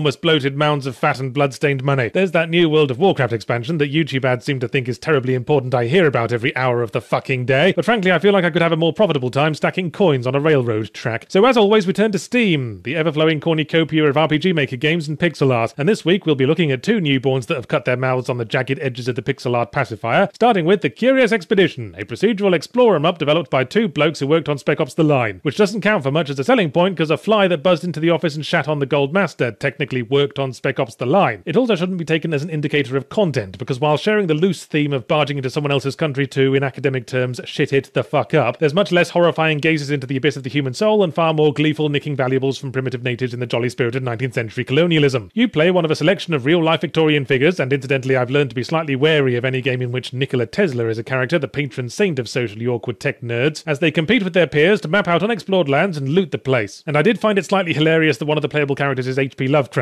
That dude never left the house and thought Jews and black people evolved from jumping spiders and dog turds. So casting him as an explorer is like casting 50 Cent as Miss Marple. So what we have is the kind of roguelike that has the feel of a pen and paper role playing session conducted by a DM with very little imagination. You have found a village of natives. They dress and act identically to the natives you met in your last expedition to an entirely different continent and seem to be aware of what a bunch of dicks you were to them, but then Darkest Africa gets a surprisingly good Wi Fi signal. You might find the Curious Expedition a wee bit uninvolving, since most of the action is described with pure text, except for the combat where the characters are on screen, far away in the distance in tiny, whiny pixel vision, where every single action from attacking to being attacked to having an earnest conversation about the excesses of European colonialism is conveyed by having the character hop into the air a bit. But isn't that in keeping with the spirit of things? Our sense of distance from proceedings echoing the sense of detachment our adventuring heroes have from their own actions as they steal treasure and corrupt the natives in arbitrary pursuit of personal glory? Probably not, actually. Have you noticed that this game is called The Curious Expedition rather than The Curious Expeditions? Which might have been more honest since a standard campaign involves locking yourself into six successive adventures, but it turns out the title was accurate all along since this is really six repeats of the same adventure. You land, you collect a few colourful diseases, and you find a golden pyramid. It's like reading King Solomon's Mines six times with the pages slightly shuffled around. And while we're on the subject, surely Rider Haggard would have been a more fitting novelist character than Lovecraft, but then I suppose he wouldn't have gotten the instant nerd cred one gets from mouthing Cthulhu and chummily waggling your eyebrows. There's yet to exist a game with truly infinite replayability, except that one game where you fire an electrode into the pleasure centre of your brain until you starve to death, but sadly that hasn't yet been ported from laboratory rats, the lucky bastards. In the meantime, the last ability of a procedural game lives or dies on variety, especially if the focus is on story over gameplay challenge, and I just don't think there's enough. You have desecrated my temple, now I shall scourge the land with, oh, floods or volcanoes this time. Yornorama, freshen up your material, Tezcatlipoca, mate. So let's turn our back on going to foreign countries and shitting them the fuck up, and for a nice change of scene, play a game about going to one specific foreign country and shitting it the fuck up in Mother Russia Bleeds, a new game published by Devolver Digital, which is best summarized by saying it is a Devolver Digital game. It has the quintessence of such in that it's horrifying gore and extremity depicted in brightly coloured pixel art, like getting bloodily raped to death in the prison showers by an enormous skinhead made of Lego. Mother Russia Bleeds is a retro style arcade beat 'em up in the final Street Fights of Rage mold, where half the challenge is not standing one pixel too far north of your intended target that your frenzied punches upset northward passing moths, and the other half is mashing buttons in the vain superstitious hope that it'll somehow make you stand up faster. You are part of a Roma community in 1980s Russia whose simple carefree life of brutal cage fighting with the homeless is shattered when you're kidnapped and subjected to drug experiments by Russian gangsters, prompting a quest for revenge, which is a bit of an overreaction. There are Westerners who'd pay good money for weekend breaks like that. Eventually, you get caught up in revolution against the corrupt government because that's all that ever happens in Russia, isn't it? Drug crime, government corruption, and revolutions. Why don't we ever hear about the positive things, like their lovely beetroot soup? Anyway, in the grand tradition of arcade beat 'em ups, you have four characters to choose from the fast, weak one, the slow, strong one, the in betweeny one, and the other one for when your mum says you have to let your little brother join in. Not that it makes much difference, they all have the same moves and dialogue, which feels like a missed opportunity. Maybe I want to know if the dude in workout gear with bandaged fists and starey eyes has a more nuanced attitude to proceedings than the girl in workout gear with bandaged fists and starey eyes. But we're not here for story, which is probably for the best because the dialogue's consistently as stiff and redundant as a beached whale at optimal surfing time. As I say, the combat's pretty basic, and I did get rather over reliant on the sliding tackle, spending more time on my back than an nymphomaniac skirting board inspector. But the challenge is meaty enough, and it's certainly cathartic. Blows land with the satisfying crunch of a big bottomed lady sitting down on a taco platter and with roughly the same effect upon the face of the target, and enough broken teeth litter the ground that the council won't need to grit the pavement next time there's icy weather. I appreciate the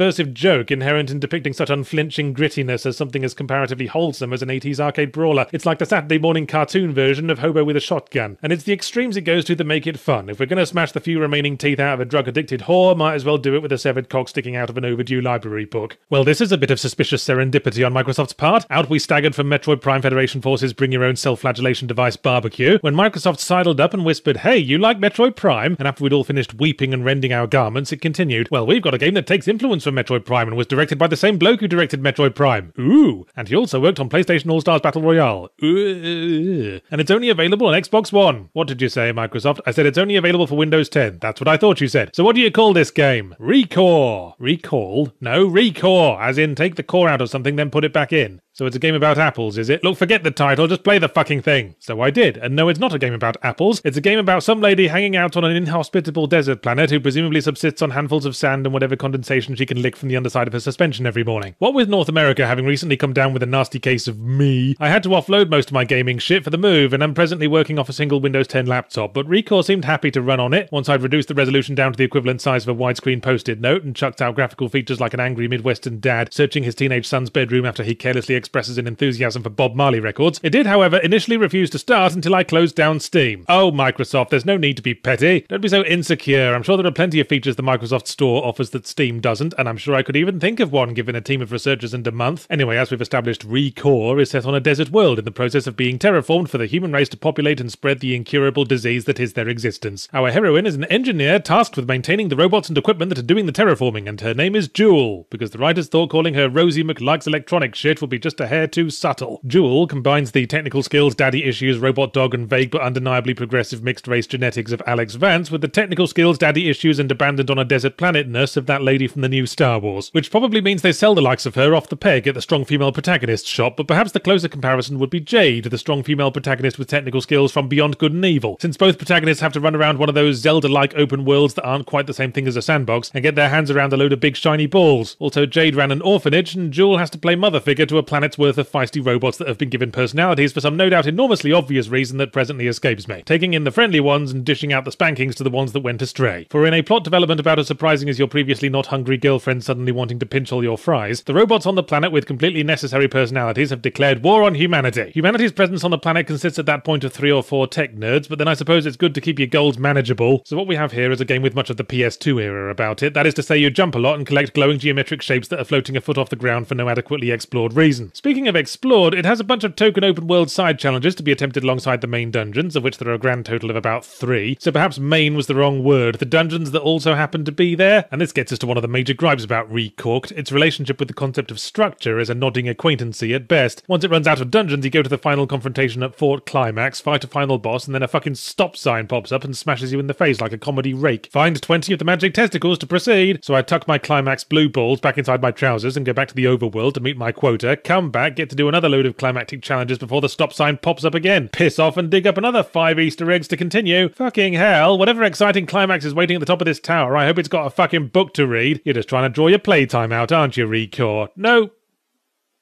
I'm not. I might appreciate it in another game, taking the reins off to let us explore the open world, but the problem is the open world is a desert planet, which is one of the definitive boring settings, alongside Antarctic research stations and any living room in which a slide projector has been set up. On top of that, it feels like they built exactly as much world as they needed to contain all the gameplay and then clicked on the little bounding box and expanded it till it was about three times bigger. So you have to trudge through blinding white sand for ages to get anywhere. And since you can double jump and jetpack boost right from the start, it doesn't open up in a gradual, organic manner. There's just a couple of highly contextual environmental barriers you need specific robot sidekicks to get past. And that gets me to the next armed grenade hidden in the exploration porridge. Jewel only has room in her strong female protagonist underpants for two robot sidekicks at a time. So if you didn't call the psychic hotline that morning, so you brought the smashy robot and the tentacle robot without realizing you'd stumble upon something that needs the hovery robot, you get to trudge all the way back to the fast travel point to swap them out. It's like being a server in a restaurant full of Alzheimer's patients. Well, I've still got one last bit of bile left, and I already read the election news this morning, so I might as well vomit it all over the combat, which is about as fun as nailing dogs to a wall. The color coding system is intuitive enough. You have the red gun, the blue gun, and the yellow gun, and they do the most damage to enemies the same color. The excitement of frenzied death battle combined with the wholesome educational value of preschool coloring in lessons. But your capabilities are limited to attacking one single enemy at once when they're always in groups, so you're constantly getting blindsided by enemies whose attacks couldn't give two straining, constipated plops whether you think you press the dodge button in time or not. Plus, they've all got health bars longer than the amount of time it takes to clean out the bathtub at Brian Blessed's house, and of course, the enemies respawn every time you re enter an area, so I was soon greeting every combat encounter with a weary sigh and a hanging of the shoulders like a waterslide attendant watching a massively obese family of four ascend the stairs. On the whole, Recore is very flawed. Better than Federation Force, but then so is getting your Nadgers pinned to the ground by a filing cabinet full of unflattering school reports. Let's all laugh at an industry that never learns anything. Tee hee hee. Yeah, you didn't think you'd hear that again, did you? Capcom, far from being a website for people with an interest in cloth headwear, is a global game developer and publisher and massive, massive slut. If Capcom ever promises your console an exclusive game, make sure to hose down the marital bed with delousing agent because it'll be out with sailor boys every night catching a fresh dose of blistering barnacles. Just recently, two of its hottest properties, Resident Evil 4 and Dead Rising, spread their already barely acquainted legs a little further apart to accommodate a few more console ports, and both of them were at one point pledged as exclusive titles, hilariously enough. But how did Capcom first follow the philosophy of philandering fair weather friendship? Today, the Zero Punctuation Occasional Guide to Differently Able Moments in Gaming History examines the curious case of the Capcom 5. Not quite as many as the Magnificent 7, but remade about as much. The year was the delightfully palindromic 2002, and in the days before Nintendo heard the siren call of motion controls and started naming their consoles after things little piggies have been known to do all the way home, their GameCube was struggling to find a decent market share. Nintendo's days of being king shit of all the lands of gaming had made them complacent and caused them to pick up a few bad habits, one of which had apparently been a tendency to use bathroom disinfectant as a drinks mixer. That being the only explanation I can think of for why the Nintendo 64 was a cartridge console when disc-based media was available. Developing for cartridge at that time was like an animation studio having to paint each frame onto the side of a frightened piglet, so third party developers buggered off in droves to the eager arms of the PlayStation. That particular wake up call led meanderingly to the GameCube, which had more powerful hardware than its competitors, the PS2 and Xbox, as well as a disk drive, although I guess there was still some of that bathroom disinfectant left over because it only ran novelty tiny baby discs whose main benefit that I could see was that you could use them to convince someone that their hands had mysteriously doubled in size. As such, the GameCube was failing to lure developers back, and so Nintendo turned to its old comrade, Capcom, whose Mega Man games had made for such a profitable partnership before 256 Colors ruined everything. The relationship was already troubled since Capcom had jumped ship with everyone else to make Resident Evil for the PlayStation, but all seemed forgiven as Capcom announced in late 2002 five new titles to revitalize the GameCube PN03, Dead Phoenix, Beautiful Joe, Killer 7, and most notably the aforementioned Resident Evil 4, all to be overseen by proven director Shinji Mikami. Things were looking immediately rosier for Nintendo as a representative of Capcom USA claimed that these would all be exclusive to GameCube as he adjusted his Stetson and fired his revolvers into the air. But then the fiasco began as there were a few moments of angry muttering behind the curtains and Capcom USA came back out out to say there'd been a communication cock-up and only Resident Evil 4 was confirmed to be exclusive at that time. Now, us mighty spacemen of the future year 2016 can look back on that with a knowing smile because at time of writing Resident Evil 4 has been ported to 11 different gaming platforms and at least one kitchen appliance. Because it is, in academic terms, fucking sweet. I won't say Resident Evil 4 breathed new life into its franchise because to even associate it with the other Resident Evils is like adding David Bowie to the lineup of S Club 7. The writing was as atrocious as ever, but with a self-aware B-movie edge that made all the difference. The completely retooled gameplay was a major influence on third-person shooters still to this day, and the graphics tech was practically next gen, that is to say, mostly brown. It wasn't so much Resident Evil getting back on its feet as a landmark title in the entire history of the medium, which I do not say lightly, because I just ate an entire fruitcake. But the point is that it alone may well have saved the GameCube, if it had been an exclusive. But as we all know, that turned into a pretty big if. So here's a smaller if. Maybe everything would have still been lovely for Nintendo if Capcom had kept their mouths shut and hadn't announced the PS2 port two months before the GameCube release. Consequently, Resident Evil 4 sold 1.6 million on the GameCube and 2 million on the PS2. What should have been the laying down of a winning hand became the laying of a cruel fist upon the ghoulies. As for the rest of the Capcom 5, the funny thing was that it had no middle ground. They were all either great or great balls of shite. Beautiful Joe was a smart and sexy side-on cartoon brawler that reviewed well and sold perfectly satisfactorily, but Capcom did a PS2 port anyway, as far as I can tell, just to rub Nintendo's nose in it. Killer 7 was the game that put legendary auteur Suda51 on the map, but to call it slightly unconventional would be like calling a swift knee in the bollocks a slightly inappropriate response to a question at a presidential debate, and it was destined for cult stardom only, which is a nice way of saying reviewed well, sold like shit. And then you have the other side of the coin. One of the five was never even released. Dead Phoenix was supposed to be some Panzer Dragoon affair, but was cancelled in August 2003, which must have been an easy time to be a video game website headline writer. Dead Phoenix is dead. Bam! That deserves an early lunch. The final game was PN03, a third person shooter about a lady who dressed like a MacBook trying to disguise itself as a kitchen appliance and constantly moved like she was busting for a piss. Critics and audiences panned it alike, and so naturally it was the only one of the five to remain a GameCube exclusive. Here's your consolation prize, Nintendo. It's a bag of lawn clippings and dead wasps. The end result of the Capcom 5 was that what should have been a boost for the GameCube turned into one broadcast after another that Capcom had zero faith in the console, and Nintendo wouldn't forget. In fact, rumour has it that the whole debacle is why there weren't any Capcom characters in Super Smash Bros. Brawl, and if it's true, then that's the most pathetic attempt at revenge I've ever heard of. It's like telling the bloke who murdered your family and stole all your money that you've expelled him from your best friend's treehouse club.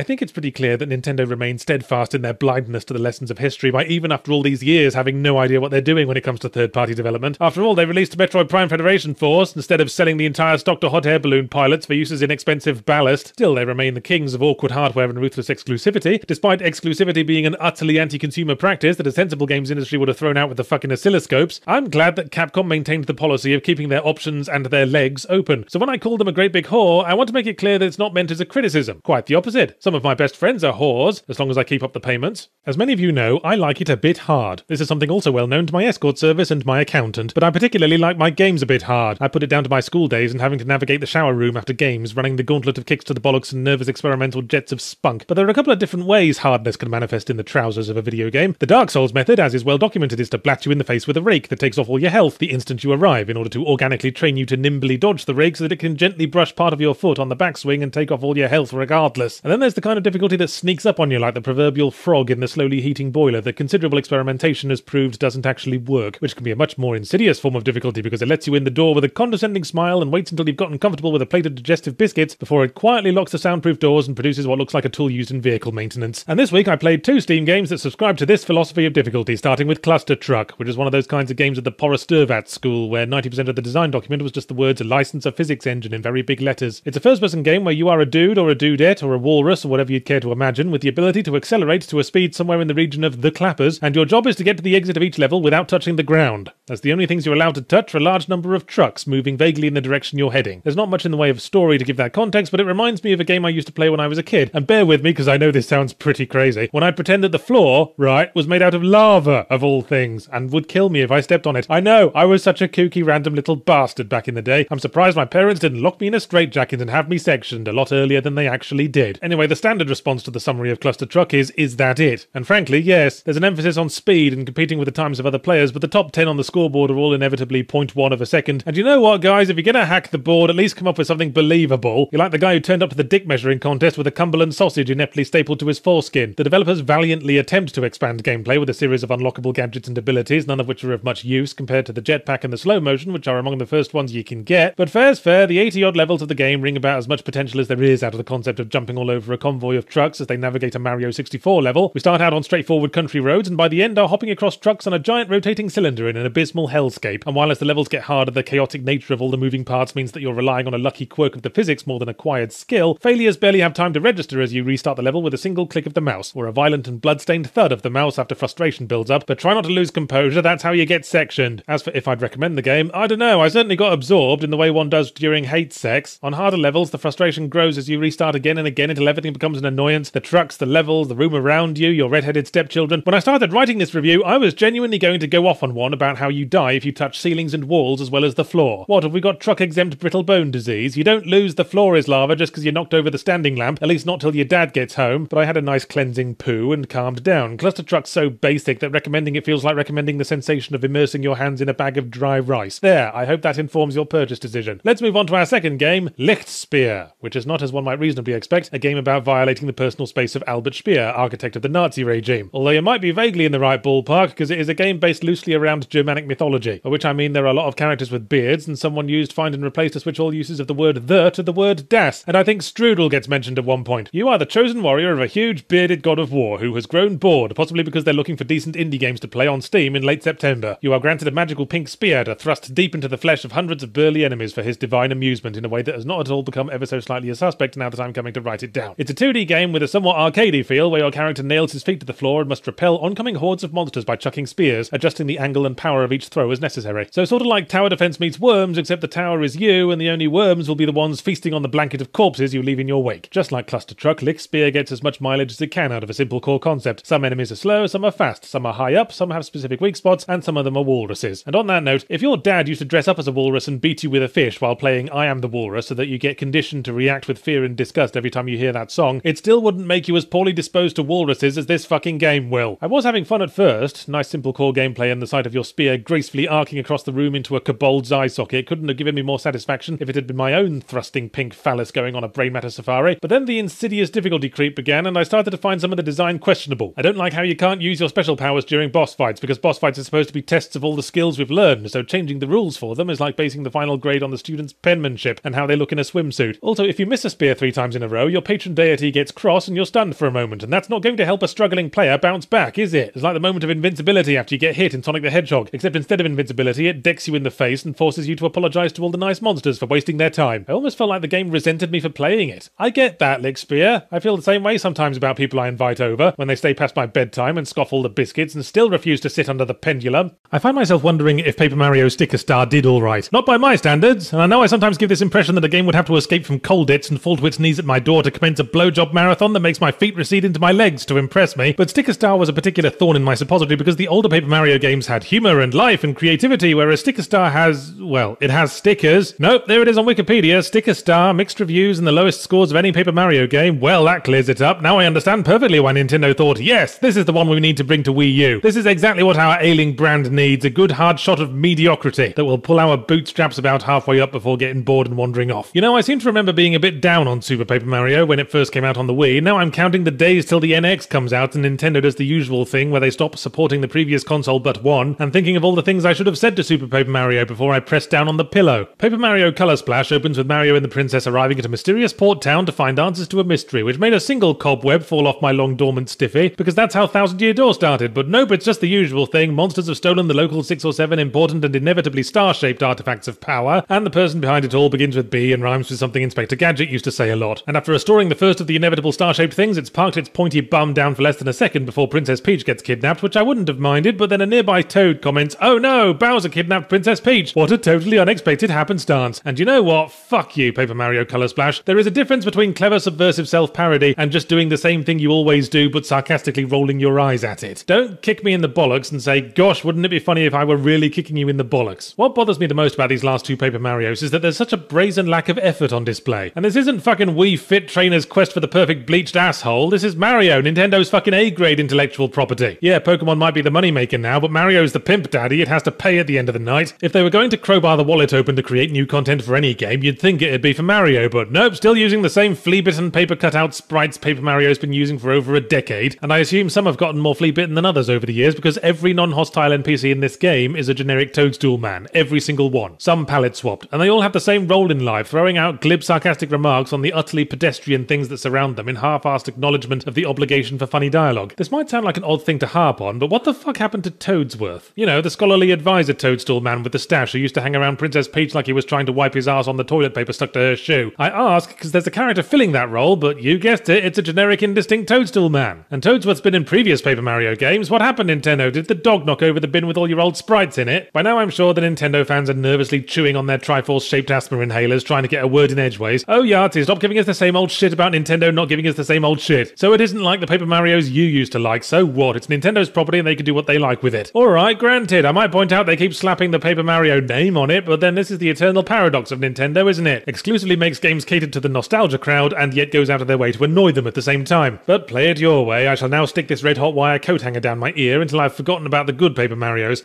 there we go. Now, flurble blurble recidivist Mario cunt. The gameplay of Color Splash revolves around paint. You're questing for the six magic paint stars and have the ability to smash paint onto white things with your hammer to restore them. I think I understand the wheeze now. Nintendo are going through every substance and object one could possibly associate with paper crafting. Last time it was adhesive, now it's paint. Next time we'll probably be rescuing the six magic sheets of blank printer paper from the clutches of King Hole Punch. The plot establishes that the villains are draining paint from characters to make them lifeless, which creates a paint as blood metaphor that gets more fucked up the more you think about it, as Mario gaily romps through the world pouring blood on things, as well as smashing objects with a hammer to recover blood from them, and using blood to infuse his combat cards with power like a deranged satanic ritualist playing Yu-Gi-Oh! On that note, the combat system is not dissimilar to Sticker Stars. As you explore, you constantly pick up cards representing single forms of attack, and in each round of combat, you choose what cards to inflict upon the enemy. I find this combat style to be the proverbial styrofoam packing material in the Noki, and now I shall explain why. In a normal RPG, annoying as it is when the game stops you every 10 steps to blow the random encounter trumpet, we take the consolation that every fight gives us a little experience and makes us a little bit stronger. In the Color Splash and Sticker Star system, however, getting caught by a random battle is totally disadvantageous. Cards are single use, so you might have to waste a four crikey death spooge on two one legged special needs Goombas and a soggy biscuit. The only benefit you can get is money and expanded blood capacity, but virtually everything in the environment disgorges money and blood like a pole dancer with the Ebola virus. If Nintendo were hoping to move Sticker Star to a non handheld console, then the joke's on them because I ended up playing in controller only mode just so I wouldn't have to be constantly looking up and down like I was lying on my side at a tennis match. Even then, the basic combat was arduous. How many button presses does it take to jump on a Goomba in Super Mario Bros.? One if it's already moving towards you. Meanwhile, in Color Splash, first you've got to drag the shoe icon onto the card slot, then fill it with paint by awkwardly fingering it like you're navigating thick pubes and aren't sure if you found the clitoris or a forgotten sultana. Then confirm your selection, and then they make you flick it off the touchscreen for no particular reason, unless Nintendo thinks there's mileage in a bogey disposal simulator. See, now that we've established that fun and original storytelling isn't part of Paper Mario's appeal, splurgle, splurgle, fuck mother, hairy pipes, then fun gameplay is the only thing left it could possibly stand up on, but the combat is both disadvantageous to get into and not fun, which is not my idea of core gameplay, except in the sense of, core, this gameplay's shite. Holy lemon scented twat wipes, let joy be unconfined, let every child in the land gorge themselves on crisps beneath the swaying boughs of a shady tree, let every teenager's bedroom emit a sound not unlike that of hundreds of ham sandwiches being rapidly and rhythmically dissembled. For the AAA drought season has finally come to an end. No longer must we stew in the swirling piss ponds of the indie market to brave the knobbly pixel art todgers as they bloodily trundle in and out of our nether holes like indecisive pine cones. No longer must we be victimized by comedy walruses. The sun has risen on a new dawn. Person. So what's for breakfast, AAA games industry? Well, we thought we'd start you off with a crime sandbox in which you systematically liberate a load of districts with repetitive stealth and cover-based shooting missions. Oh, bollocks, I forgive you, Comedy Walrus. All aboard my nether holes. Yes, if Mafia 3's intention was to very firmly put on its most generic underpants to start the AAA season as it means to go on, then it did an excellent job of that at least. Hope you want a little backwards B branded onto your thumb from pressing the contextual stealth kill button 500 billion times. Mafia 3 takes the series' particular brand of GTA knockoff to the deep south in the era of the civil rights movement, where we play a young black crim named Lincoln Clay. Oh, for fuck's sake. Lincoln from Abraham Lincoln who freed the slaves, Clay from Cassius Clay, also known as Muhammad Ali. Nice. I know the race issue was going to be unavoidable in this plot, but you might as well have called him Jerome K. Black Person. 2K certainly felt it was unavoidable because the game opens with a very Assassin's Creed-esque disclaimer to the effect of a lot of people are going to be saying very horrible racist things in this game, but please understand we had to put all that in to accurately bring the era to life, and when you think about it, not putting it in would have been even more racist. Right, now that we've gotten that out of the way, nigger, nigger, nigger, nigger, coon, coon, spick. I get that the 60s Deep South literally was more cartoonishly bigoted than a 2016 presidential candidate, but having granted themselves the all clear to say the N word, I suspect that the writers started slightly getting off on doing so. I'm not one to judge. I'm going to say the word retard right now for literally no reason, but don't get all hand wringingly sanctimonious about it when your game also contains Italian gangsters with Tommy guns who talk like they're never more than three wisecracks away from bursting into a song from Bugsy Malone. Any sandbox game that tries to have a serious message about societal ills and the corrupting nature of violence is going to be an inevitable tonal disaster area when two seconds later you can slow motion ramp over a creek can smash into a gangster so hard that a neatly bound wad of bills flies out of his nose. But anyway, Lincoln is a member of a black gang in service to the Italian mob when his people get betrayed and he gets left for dead in the classic revenge narrative opening act that I think most screenwriting software will automatically fill in for you these days. So off on the revenge rampage we go. The Assassin's Creed comparison continues because do you remember how in Assassin's Creed 1, before the series became good for approximately one and a half games, there was a shopping list of assassination targets that represented story missions, but before you could do any of them, you had to do a minimum of repetitive side missions, and it was like watching a TV show with 500 ad breaks. That's Mafia 3's problem. Mafia 2's problem was not having enough side stuff and being too linear, so at least they're trying, but they're overcompensating with the steering and skidded right off the road and down the side of Mount Boring. It's like all the game's missions were loaded into a blunderbuss and indiscriminately fired at the map. The notion that the player should have the freedom to choose what order they do things in has the usual result that we have a to do list instead of a difficulty curve. Freedom's overrated, guys. Yeah, Nelson Mandela spent 27 years in prison, but I can guarantee that he never banged his shins on any coffee tables while he was in there. About the only time the game got hard was after it bugged out in a way that made mission indicators inexplicably disappear, which happened more than once. So I just have to drive around looking for large concentrations of enemy dots on the minimap and hope it's not just the ice cream shop giving out free samples to bastards. But Lincoln can't manage the day to day running of his conquered territories when he's got a busy schedule of hiding in bushes waiting to stab people. So the unique selling point of the game is that after taking over a district, we must make the difficult decision of which of our three underbosses to leave in charge of it. Except it's not a difficult decision in the slightest. There's nine districts, three each. Bam. None of the underbosses run the rackets any better or worse than the others, so divvy them up evenly, and everything's chocolate tulips. This is the illusion of management gameplay where none truly exists. You don't get to micromanage how much laundry detergent the cocaine gets cut with, or how many strokes is too many for a $5 hand job. What happens is that the underbosses give you better and better upgrades and benefits for the day to day gameplay, and you can favour a boss to get their benefits quicker. But none of them are worth alienating the others for. The Irish mob guy, for example, who is drunk and fighty and associated with the colour green, because that's how committed we are to making a serious point about racism, will teach you how to steal cars without being noticed if you please him enough. But the very first base level benefit he gives you is the ability to have someone bring you a car at any time for free. So what's the bloody point? The others give you stuff like more ammo capacity and NPC hit squads, but the game gives you see enemy through Walzo vision and a distraction ability by default, so I could have gotten through the whole game just as easily with one of the starting guns and a staple remover. You don't exactly have to claw for every possible advantage when you're up against enemies that will keep coming over to check the mysterious whistling doorway with seven or eight dead henchmen scattered around it. By the end of the game, I was struggling to remember why we were supposed to hate the main bad guy. He killed about 0.01% of the people we've killed and had been running a bunch of naughty crime rackets which we proceeded to take over and not change in any way, but he also had an overarching, sinister, diabolical scheme to set up a legitimate business, leave the criminal life behind, and create a future for his children. Oh, hang on, he does say nigger once or twice. Well, okay then, say no more. Let's drive his harmless old ass to suicide to show how much more enlightened we are these days. This may be intentional. The story acknowledges Lincoln's hypocrisy at times, but the problem is, I don't think Lincoln ever is a relatable underdog. He's left for dead and vows to bring down the mob with nothing to his name but his two fists, his street smarts, and the backing of a rogue CIA operative with access to all the resources of the United States government. Wait, what was that last one? It's made out like Lincoln is the criminal mastermind, but every single thing he does is planned and supplied by the CIA dude, who, now that I think about it, shows up in the plot with no introduction and never interacts with anyone else. What, is he Lincoln's fairy godmother? You know what's funny? Sticking fish fingers up your nose and blowing raspberries to the Captain Pugwash theme tune. But you know what's funny about Gears of War? It's a series with a fairly respectable heritage about it, an early Xbox 360 game attached to the venerable Cliff Bleszinski, with focus on a grand architectural aesthetic and a solid core gameplay style that has had a lasting influence on shooter design to this day, and yet when you actually sit down and play one of them, you swiftly remember, oh, that's right, these games are for absolute cretins. Every aspect of a Gears of War game, from the way characters waddle about the battlefield making it sound like they're carrying rucksacks full of saucepans, to the incessant asinine dialogue, to the fact that you could cut two minutes out of literally any Gears of War game, and I doubt I could tell for the life of me which of the four it came from, although I bet confidently on those two minutes consisting of hanging around a bunch of chest high walls shooting at dudes that look like the Sugar Puffs monster, make playing a Gears of War game feel like trying to explain something to an incredibly slow witted man who will get angry and sit on your head every time you say a word he doesn't understand. Gears of War 4 continues the story of a brave group of plot writers as they struggle to continue a plot that was supposed to have been decisively tied up at the end of Gears of War 3. The Locust have been gone for about 30 years, and the human race have had time to get into some nice traditional internal squabbles between those who want to live in walled cities where robots cater to their every whim, and those ostensibly much smarter and more relatable people who want to live in wooden huts and shit in the woods. Although, in fairness, the only city we get to see the inside of seem to be entirely deserted except for robots and Sarah Palin. Shortly, this uneasy peace is shattered when a new threat arises, and by new threat, I mean precisely the same threat as always the Locust come back. That's about all the explanation we get. The locusts can just all come back to life, apparently, if they detect perfect environmental conditions for sequel. This established, one wonders why the characters are even bothering to fight them. The enemy's immortal, guys. I think this planet is officially a lost cause. Maybe we could find another one that doesn't have city destroying superstorms every half hour. Speaking of, if these storms are a regular thing, then why does one completely destroy Marcus Phoenix's house the moment we show up? Surely it would have had to have weathered at least a few of those before we arrived. Oh, whoops, that was a bit of a spoiler, wasn't it? Because when the game starts, we're playing as an all new, fresh faced Scooby gang of infuriating youngsters whose quips make me want to grind a broken highball glass in their eye. So we might take from this that the series is at least trying to make a fresh start, even if the combat's the same and every character still looks like they're wearing a neck brace under their flesh. But then two chapters in, Marcus Phoenix shows up and the plot proceeds to revolve around him for the remainder of the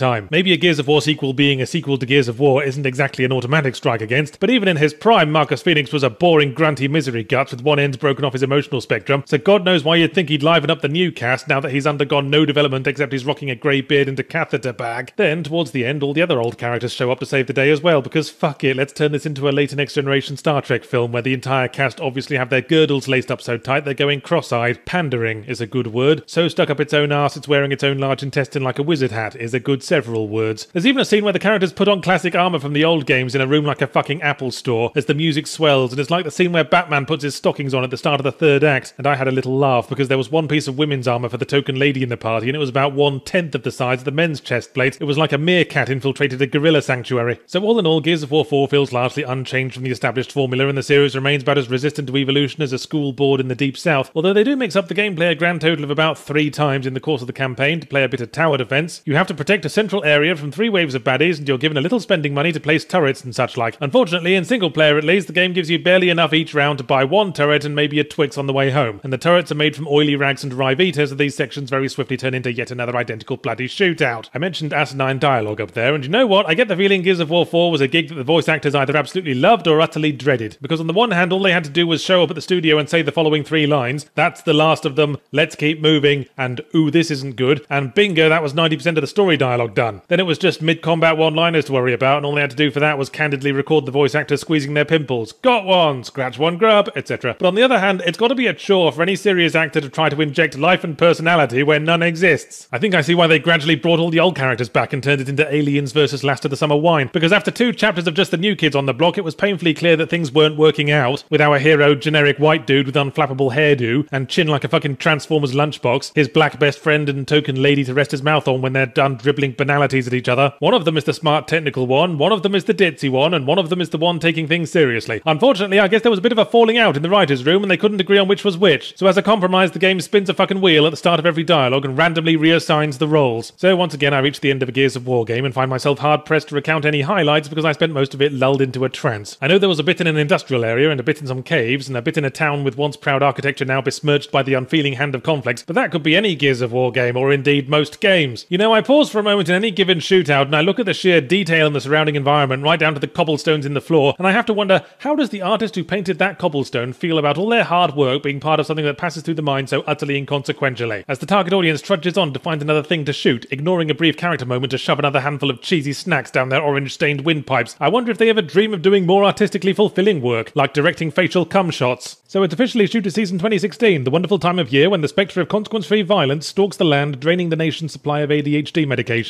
I've got the usual variety twin pack of Battlefield and Call of Duty on the list, but after Gears of War 4, I didn't want to be that guy who played too many shooters in a row and then drank a shooter while watching Shooter, the 2007 Mark Wahlberg vehicle, and then became cursed every full moon to transform into the chairman of the National Rifle Association. So instead, I thought I'd have a go on PlayStation VR. It would have been remiss of me not to, since I've been talking VR up for years. It's a genuine advance in immersive gaming. How can it not be? No matter where you look, you cannot be anything but in the game because you nailed two TVs to your fucking face. Admittedly, VR is still struggling through two major teething troubles. Firstly, ensuring that the player doesn't look like a massive knob end to passers by, aka the Google Glasses conundrum. And secondly, that it makes most people want to puke until their sex organs are dangling from their nostrils like Christmas mistletoe. But hey, Disneyland broke down on the first day too, and VR wasn't started by a closet Nazi. The other thing that makes VR interesting is that it's one of the few areas of gaming that's still evolving and exploring possibilities. Standard gaming tech has basically been perfected for years, but the hardware lads still try to convince us we're missing out if we're not playing Halo in 10,000p, counting every piece of gravel in Master Chief's driveway. Resolution in VR, meanwhile, is still crap. It's like sticking your heads in a bucket of Lego, and improving that would actually mean something. Let me reiterate now that motion controls continue to be a used teabag full of hot sewing needles, and it upsets me that publishers keep trying to pair VR with it, in the same way one pairs a punch bowl with a stream of piss. It makes no sense to me because it's combining a more immersive gameplay style with a less immersive one, effectively cancelling them both out, so you end up with nothing but incessant calibration tests and a living room full of trailing wires. Thankfully, most PSVR games let you use a standard controller, but motion controls were always part of the broader initiative to market video games as a party starter. That wholesome box box of living room fun around which inoffensively attractive 18 to 35s gather in pastel shirts to have quality time. And I get the sense that PlayStation is having trouble relinquishing that mindset. Push your VR based local multiplayer party games all you want, there's no denying that VR is inherently a single player innovation. It's a device for lonesome spods to find more lasting escape from a cruel reality, which is great because it means those spods aren't shooting up movie theatres or hovering around an office Christmas party making suggestive remarks about vol in a disastrous attempt to flirt. Speaking for the spods, then, the PlayStation VR helmet is comfortable enough to wear, with enough adjustability that I can find the sweet spot where my vision isn't blurred and the bridge of my nose doesn't hurt after a bare 30 to 40 minutes of fiddling, which puts it above average for commercial VR headsets. And then there I was inside the virtual world with a heavy thing hanging off my face like a tortoise was trying to mate with my cycling helmet, which doesn't help with the queasiness, but a big part of that is game design, and developers are continually finding new ways to mitigate the issue. Batman Arkham VR, for example, hits upon the clever notion of being such incredible garbage that you close the game in disgust before you have a chance to feel ill. 30 fucking bucks I paid for a half hour CD-ROM virtual tour from the mid to late 90s. I'd have expected more if I'd found it on the cover of a fucking magazine. Now I know why I couldn't find a free demo of it. The demo would probably have been two nanoseconds of Batman looking sad. Here They Lie was better, a rather absorbing horror game about exploring a dilapidated and increasingly fucked up city that'll probably turn out to be hell or limbo, because that's usually the case in games like this and, well, limbo. It is a linear walking simulator, and there's not a whole lot of gameplay, barring a few rather anticlimactic monster hiding moments that felt more like a simulation of trying to walk home from work without having to pass by groups of scary looking teenagers. But I enjoyed it nonetheless, which may prove my point about VR, as it was absorbing enough for me just taking in the sights, standing on the edge of bridges, leaning over and looking down to see if I could spot places the developers forgot to texture. I was, however, a little bit confused by the turning controls. Every time you nudge the right analog stick, the game pulls a black bag over your head, rotates you precisely 45 degrees, and pulls it off again. I assumed it was another puke preventative, but I wouldn't have thought merely turning around would have caused a stress mess until I played Windlands, which is a game that lets you turn off the black bag approach, and turning felt like my brain was attached to my eyeballs with partially melted slinkies. Windlands is a rather basic platformer with an air of my first Unity project, but if you're looking for an encyclopedia of nausea prevention aids, then look no further than its options menu. You want black bag turning, you want to disable strafing, you want to stick your head in a great big hamster ball. Come on, there's got to be at least one combination of these that will keep your lunch down while you enjoy the very expensive tech investment you've got strapped to your bonds. About that hamster ball thing, there's the option to put a cage around your head, partly because one must occasionally take a risk trying to stay ahead of fashion trends, but partly because having something stationary around you helps with the nausea. Hey, I thought we were sitting immobile on a couch, says Mr. Body as we play VR. What's all this jumping around and exploring dilapidated cities business Mr. Eyes is going on about? I'm confused, so I'm going to have a big sulk and send all this food back up to Mr. Mouth in protest. No, wait, says Mr. Eyes. Look, there's a stationary cage around us. We are sitting immobile after all. Hmm, story checks out, says Mr. Body. My apologies, back to normal business. Let's eat something bad for us and have a quick wank. That's the theory, anyway, and perhaps it's the reason why VR comes into its own with games where you're piloting a vehicle. It would be a shame if VR ends up only really working with certain very specific kinds of games, like the thing the Wiimote had with rail shooters and bugger all else. But doing only one thing can go a long way if you do it well enough, and anyway, vehicle based gaming covers a large variety of experiences, from Forklift Simulator 2016 to giant mech combat in orbit around the planet of tits. The game that finally gave me the VR experience I wanted was Eve Valkyrie, a space shooter. That was where it all came together. The yawning majesty of the infinite, but an inch of plexiglass away, interludes of intense three dimensional combat, looking down and seeing the body of someone attractive and physically fit. Of course, the only version of the game available cost me $90 and only had three story missions, which is taking a not insignificant amount of piss. But you know what? There's no need to rip the toilet seat out just because there's a bit of piss on it. That's what your sleeve is for. Regular viewers will know that I have a bit of a wasp in my urethra about illogical sequel numbering. Mainly, I worry that after the apocalyptic global conflict that will accompany the new American presidency, the future scholars of gaming will be terribly confused. We found Battlefield 1, 2, 3, 4, and 1942, so by my count, we're missing 1,938 episodes. But there is a slim justification for the titling of Battlefield 1. Firstly, it's sort of a play on words, Battlefield 1, you see. Congratulations, you have won a battlefield. Hope you like shell casings and entrails. And of course, it's a clever reference to the game being set in World War 1, which in the run up to release, many pundits and players rightly thought could be just the kind of fresh thinking that would breathe new life into the genre. For one thing, it'll mean that battles will be taking place in literal fields, and the whole affair won't be infused by an inescapable air of dishonesty. And without the benefits of modern weaponry, the gameplay would call for a wholly different, more thoughtful approach to what was that? cries Battlefield 1. Sorry, we were busy giving automatic machine guns to every motherfucker on the planet. Oh.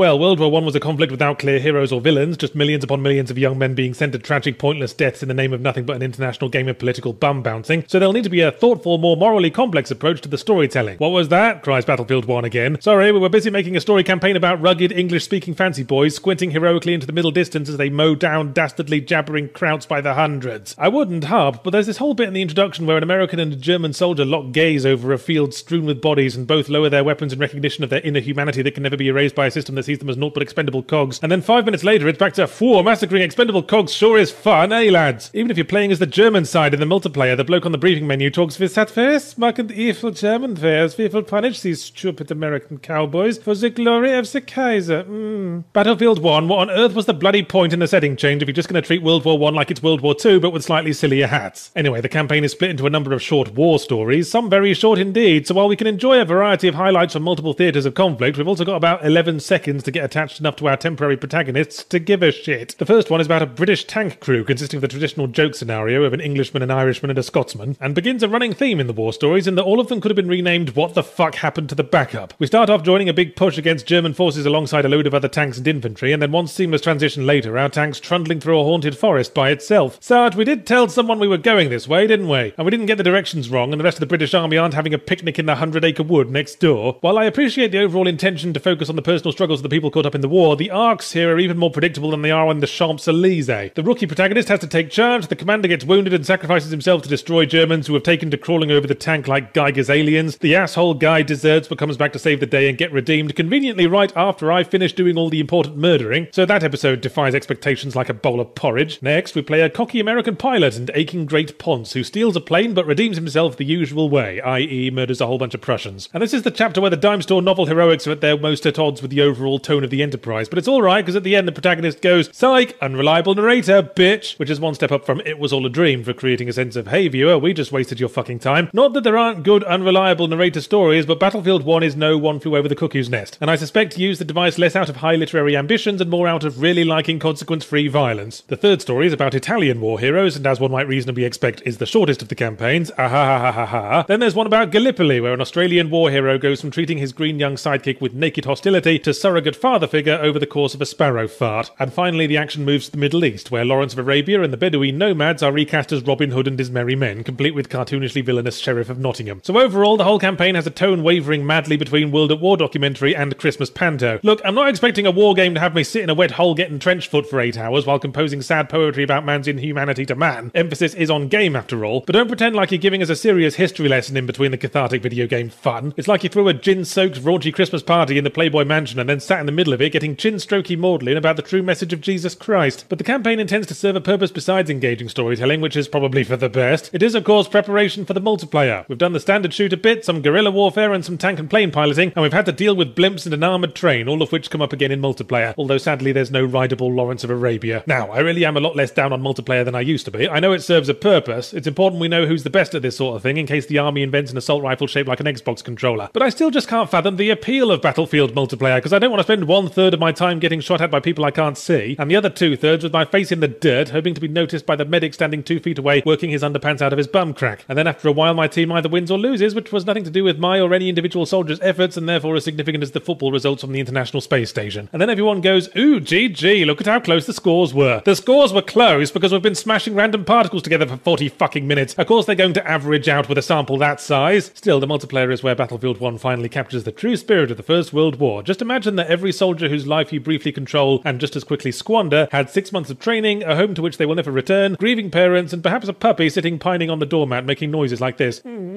mm, mm, you bastards! I know that historically it's Queen Battlefield and King Call of Duty that share the dogshit crown as they drift through the skies of the annual shooter season like two greasy zeppelins made of rancid luncheon meat, but this year those two have undergone trial separation. All the signs were there, the way they both surreptitiously roll their eyes as they air kissed for the photographers, the occasional half-hearted stabbing. They've had to face the fact that the mutual love of realistic violence fueled by politics on a level appreciable by frustrated chest-thumping cockslops just isn't enough anymore, because Battlefield got back into historical war reenactment and Call of Duty got back into sticking rabbit turds up its nose. Happily, a much starker parallel exists in this year's shooter season between Call of Duty Infinite Warfare and Titanfall 2. So I'm going to do them together, because I'm trying to keep on top of the year's releases and I want to get the shooters out of the way so I can stop reflexively reaching for the iron sights button every time I aim my piss stream at a toilet bowl. Titanfall 2 is, spoiler warning, the sequel to Titanfall 1. Basically the same, but with a single player campaign now. But I hope it doesn't expect to score any points for that, because selling Titanfall 1 at full price without single player was like forgetting to inflate the bouncy castle and resulted in about as much head trauma for me. Call of Duty, meanwhile, decided to start doing games about modern warfare a while back, but now the series is like the brooms from the Sorcerer's apprentice. They've kept doing that because no one told them to stop, and things have reached the inevitable conclusion with Call of Duty Infinitum Warfare suddenly being in space, like it's a fucking Saturday morning cartoon adaptation. But the question you have to ask with sci-fi is if the story actually needs to be sci-fi and couldn't work perfectly well set in, just to pick an example completely out of the air, the First World War. Tityfall does because both the plot and the gameplay center around giant robots and jetpacks, and there weren't too many reports of giant robots in the Somme. Maybe they were all being very quiet. We'll never know. The main purpose of the sci-fi setting in informal warfare, meanwhile, seems to be for the sake of showing us people we have been clumsily assured are bad, getting their shit ruined in more and more spectacular set pieces. And the actual plot could be transplanted into literally any preceding Call of Duty game because it's the same cast as always. Bunch of shouty, interchangeable lads, all with the single defining personality trait of being very dutiful, like they're answering a call of some description. And in the final act, they all start getting picked off with the laughable regularity of a game of this little piggy. Both Titty Flaps 2 and Infantile Warfare open with a narrated plot recap for a plot that hasn't actually started yet, unless you count that fucking elevator music of a story Titanfall 1 claimed to have, I suppose, with the clear intention to establish the bad guys as bad. Titty Flaps gives us the IMC, evil corporation oppressing independent planets for their precious resources, fairly cut and dry stuff, whereas Call of Duty Infi Winfi gives us the SDF, Mars-based military nation that despises the people of Earth because question mark. Their leader is played by Kit Harington, and after carefully analysing his performance in this game to ascertain his character's motivations, the only conclusion I had reached was that Kit Harington could be outacted by a dying blobfish in a Kit Harington mask. Like a teacher's pet with an exhibitionist fetish, telling is never quite as satisfying as showing. Tittyfuck 2 swiftly backs up the opening plot dump by having the main character, who had one of those generic everyman names that I can't remember, so let's just call him Brian Twatchops, join a big assault against the IMC that promptly goes about as well as a charity barbecue at the home for very large, very poorly trained dogs, leaving Brian alone and scared behind enemy lines with a face full of dirt and someone's shoe up his bum. Great! Threat established, protagonist sympathetic. Nice work. Meanwhile, the first we see of the very threatening SDF in Call of Duty improvised wanking is when we ambush and kill a bunch, break into their house, kill about 50 more of them, and smash some of their stuff before getting killed ourselves by Kit Harington, which is as humiliating as getting licked to death by a mule. We then cut to our real protagonist, let's call him Barry Pisscup, going on about how the SDF must be taken to task for defending themselves against the previous protagonist and ruining his attempt to break his massacre record. Compared to interminable whining, Titwank 2 is the better experience, but then so is licking a used scouring pad. So let me clarify that even in a vacuum, like say the vacuum of space, Titwank 2 single player is pretty alright as campaigns go. Brian Twatchops teams up with a pilotless mech to form a vaudeville comedy act based around pulling the I am oblivious to your human sarcasm gag about 7 million times, but the AI comes to respect Brian's skills and their relationship actually means something by the end. Meanwhile, Impertinent Waffling also has an AI character who is exactly the same as everyone else except he's got a traffic light for a head, and another character is really awkwardly and inexplicably racist at him for no better reason than so he can equally inexplicably stop being racist two missions later, which made me go, uh oh, I smell hastily resolved character arc. Wouldn't start reading any long books, Mr. X racist mate. Not that the plot points in Breast Descent 2 are any less predictable, but at least there's a sense of growth and development to get us invested in characters. The problem with Call of Duty plots is that every character starts out as an off the shelf, fully developed soldier type with super skills and various hitherto unmentioned super weapons ready to be pulled from their arse, and the plot is just about giving them an excuse to use it all on something that will bleed or catch fire amusingly. Brian Twatchops isn't even a mech pilot when he starts piloting a mech and has no super weapons up his arse, save a military issue breakfast burrito. The curious parallels between the two games continue in that both feature wall running and double jumping, but Booby Tits 2 bases the levels around it with wide open spaces, jumping challenges, and hard to reach secrets, whereas Indecent Wobbling takes place in the usual claustrophobic ruined cities and military bases, and I think you're only obliged to wall run maybe twice in the whole campaign, making the wall running just another toy for a spoiled child, another lovingly crafted wedding cake to mash up and add to the trough. Breast Melons 2 has its issues, of course. In fact, the biggest annoyance for me in the giant robot piloting game was having to pilot a giant robot, which I know is like saying that I'd love sucking my fat grandma's asshole if it didn't taste so horrible, but switching between the runny jumpy on foot controls to thundering about like your fat grandma's clinging to your legs makes for a jarring contrast. And since you only get into your mech to fight other mechs, you don't even feel more powerful. Your health bar is still disappearing like chocolate biscuits around your fat grandma. But what's ignoble weatherman got to compete with it? The token flying vehicle that controls like a magic carpet? The whole game's already far beyond fat grandma, not unlike the Atkins diet. So what happened to all that speckled guff about female characters in gaming? Seems like it wasn't that long ago that people kept going, more female protagonists! Female gamers need characters they can identify with and look up to, because it's not like themes of adversity and the human condition are fairly universal. No, I can only possibly relate to a character with whom I share some circumstantial physical characteristics, because I'm fucking psychotic. And then the developers said, well, okay then, and we better dress them up in outfits that show off those circumstantial physical characteristics as much as possible, since they're apparently so important. And that, if anything, made things worse. But you know, I totally agree with this sentiment. After all, I have to have a whiteboard marker on hand when I play Tomb Raider so that I can draw a little moustache and beard on Lara Croft and start giving a shit about her problems. But unless you let the player pick their gender, then you're going to have to alienate someone. We should thank Dishonored 2 then for doing just that and postponing the inevitable apocalyptic gender war for another week. In Dishonored 2, you can choose the protagonist closest to yourself and avoid being alienated by the thought of having to lug a pair of unwanted ovaries stroke gormless gonads around. You can be Empress Emily Kaldwin if you're a girl murderer, or you can be previous Dishonored protagonist Corvo Attano if you're a boy murderer with absolutely zero sense of narrative structure. For you see, I went with Emily despite my personal tits deficiency because that was the better story. After having been a child and amazing human MacGuffin in the first game who Corvo had to save and resave over and over again like an expensive cheese that never gets fully eaten no matter how often we bring it out for guests, Emily is now Empress of Dunwall and ruling it about as well as could be expected from someone who was raised by an authority in throat stabbing and little else. That is to say, she's fully bent over shitting things right up the flagpole, so to speak. She's promptly overthrown in a coup orchestrated by a pair of Disney villains and must prove she has the will to fight for what was originally handed to her on a silver platter and rescue the man who once rescued her. Classic passing of the torch sort of sequel plot. Meanwhile, players Corvo and you get to go through basically the same motions as last time with a bloke with no need for character growth as long as he remembers which end of a knife goes into what squashy bits, so that in the end he can rescue Emily again and resume his position as Royal Arse Wiper General. Still, you might pick him if you want to take a nice hot soapy bath in Stephen Russell's Garrett voice again, which was to my mind a slightly manipulative bit of casting. Oh, did the Thief reboot piss in your eyes, fans of the Thief series? It seems to say. Come over here and let us lick your face clean for a while. Obviously, I will Dishonored too, but what else are you bringing to the table besides face licking and protagonist with optional number of testicles? What do you mean, what else? You need more? Yes, besides the evil rats now having been replaced by evil wasps, and moving from fantasy steampunk London to fantasy steampunk Calais, there's probably a Brexit reference in here somewhere. Dishonored 2 is more of Dishonored 1, albeit a bit shorter and without the third act twist I could have seen coming from the International Space Station. More roof hopping mission based stealth fun, and the tone of the ending depends on whether you solve your problems with artful character assassination or the boring old regular kind. Which is not to say there aren't a couple of gimmicks sprinkled hither and thither. In fact, I'm a little bit weirded out by the fact that I've played two games in quick succession, this and Titanfall 2, both of which introduce out of nowhere a gadget that lets you switch between two different time periods which you can use for precisely one mission before it disappears down the game's butthole forever. I think you boys had better see me after class. Someone has clearly been copying somebody's homework. It's funny how they both do it for only one mission, too. Normally, an innovative mechanic like that would have a game entirely based around it first that earns some critical acclaim, before bigger studios start ripping it off for one mission gimmicks like a huge stupid jock trying to memorize one poem to impress the girl he likes. But we appear to have entirely skipped that step. Nice to see that the march of progress has brought us new horizons in the field of uncreative hackery, if nothing else. Otherwise, if you played Dishonored 1, you should already know what to expect. Stealth gameplay made fairly uniquely efficient by the addition of a short range teleport power that can pull you out of sticky situations, which is only fair because half the time it's the thing that put you in the sticky situation in the first place. I think I must have accidentally condemned the teleport power to 20 years in the Chateau d'If at some point because its revenge was elaborate and well planned. You can trust me, I will totally teleport you safely onto that fifth floor window ledge across the street. Aha! Vengeance is mine! Have fun escaping those 97 police officers with your shin bones sticking out of your armpits, motherfucker. The stealth is rather unforgiving. Get spotted by a police chihuahua and every fucko in a two block radius instantly knows your location and your least favourite place to be stabbed, and getting into combat with any number of fuckos greater than one is like being a hamster trying to navigate its way out of a powered waste disposal unit. So I did the non lethal playthrough first as Emily for the challenge, and ending that actually feels like an ending rather than a finger wagging chastisement to a bad dog who ate all the biscuits, and figured I'd then quickly do a murdery playthrough as Corvo for the fun and to see how things changed. Except two missions into that, I stopped because I wasn't having fun, and I felt like I already knew what would change. Largely bugger all, except my NPC friends would say slightly disapproving things with the neutral expression and monotone voice with which they expressed their undying admiration last time around. See, Dishonored 2 doesn't fix the major problem I had with Dishonored 1, which is that the dialogue is about as lively as that of the adults in the Charlie Brown and Snoopy show. The world building's fine, there's lengthy books on every shelf that the writers clearly put a lot of work into, but there's something so lifeless about most of the characters and their line deliveries. It's like the Borg put on a production of Hamlet. When the guards close in for combat, their taunts and threats sound like they're your dentist examining your gum line, and I'm pretty sure every single one of them has the exact same voice. So when you've alerted a bunch and they're all closing in for the kill, you get this very surreal experience where they're all drably taunting over each other. It's like hearing a snatch of the voice actor's internal monologue as someone offers him a second piece of cheesecake. Just kills my whole investment in the plot. You can have all the passively entertaining gameplay in the world, but I find it hard to give a shit when no one around me seems to. Sort of the opposite of the problem I have with public bathrooms. Ubisoft, serious question. Are there any actual human beings making your decisions anymore? Your credit sequences are longer than an episode of Inspector Morse, so I know human beings are involved somewhere, in the same way that that cloud of smoke coming out of the concentration camp chimney probably involved human beings at one point. But the moves Ubisoft have been making lately are consistent with an entity that has needed to have the concept of human emotion patiently explained to it. First, people complained about Assassin's Creed Unity not having enough women, so that got fed into the calculating machine and out popped Assassin's Creed Syndicate with optional female protagonist and remarkably gender diverse Clockwork Orange rape gangs. And now, after everyone pointed out that the story of Watch Dogs 1 was a depressing, self pitying grit fest starring the world's least interesting vigilante tramp, the calculating machine has promptly taken the obvious step in the exact opposite direction with Watch Dogs 2 and made it about colourful, wisecracking millennials who, if left to their own devices, would probably devolve until their spoken language consisted entirely of sarcastic memes and snorting noises. Our protagonist is Marcus Holloway, gifted young hacker who was wrongly sentenced to community service and decided that the most balanced, level headed response would be to start gunning down police officers. To this end, he joins an underground hacktivist group consisting of two spectacular super spurgs, a fairly indistinct black dude to whom I immediately pointed and yelled, That motherfucker's gonna die first, and a girl with a middlingly brown skin tone, cornrows on one side of her head, and a white girl hairdo on the other, who I can only assume was an attempt to fill the entire diversity quota with a single character. All these youngsters talk the way a room full of 30 something writers assume kids talk like these days, but despite being the kind of achingly trendy that starts aging poorly the second after the producer envisions it during a Turkish bath gob job, the story of Watch Dogs 2 is remarkably reminiscent of Hackers, the 1995 movie starring a young Angelina Jolie. With some differences, Marcus doesn't get off with the hot girl hacker at the end because that would require either character having a granule of passion and genuine human warmth. Also, the tagline of Hackers was their only crime was curiosity, which would require a bit of modification to apply to Watch Dogs 2. Perhaps their only crime was curiosity, trespassing, criminal vandalism, assault, bank fraud, grand theft auto, and one or two good old fashioned first degree murders. And that's where the tone problems come in. Because the Streetwise Treehouse Club are already difficult to like when they're sitting in their mum's basement quoting goofy memes at each other, and then they leave the house and commit vigilante murders. It makes them come across like reckless idiots with no grasp of the consequences of their actions. If the game was a more overt spoof, like your Saints Row or your Sunset Overdrive, it might work, but the overall tone is a hair too straight faced. Probably because the points being made about data security, technological integration, and corporate control of the populace are actually very relevant to our present lives, Magic Wand phones notwithstanding. In which case, you know how you explore those themes? By making the hero a normal fucking dude! Not a grim gravel voiced Avenger, and certainly not a neon pink rollerblading Scooby gang who all deserve to have their mouths filled in with expanding foam sealant. Admittedly, while the game does its best to tempt you with a selection of colourful firearms with cute names that are sure to give your victims a chuckle as they struggle to breathe through the blood bubbling up from the ruin that was once their jaw, you can stick to stun guns and wholesome non lethal traffic pileups. But there's still an air of hypocrisy. Hey, let's hack into my niece's stream and humiliate her live to show her how bad it would be if some nasty person hacked into her stream and humiliated her live, goes the premise of one side mission. It'd have been nice if the plot had had a self reflective arc, and so long as I'm fantasizing, it would also have been nice if there had been a plot at all. I'm going into spoiler town now because I need to illustrate my point and because I hate you and I'm an antisocial massacre in waiting. Remember that bloke I immediately realised would die first? My obvious correctness need go unstated, but are they killed by the main villains to up the stakes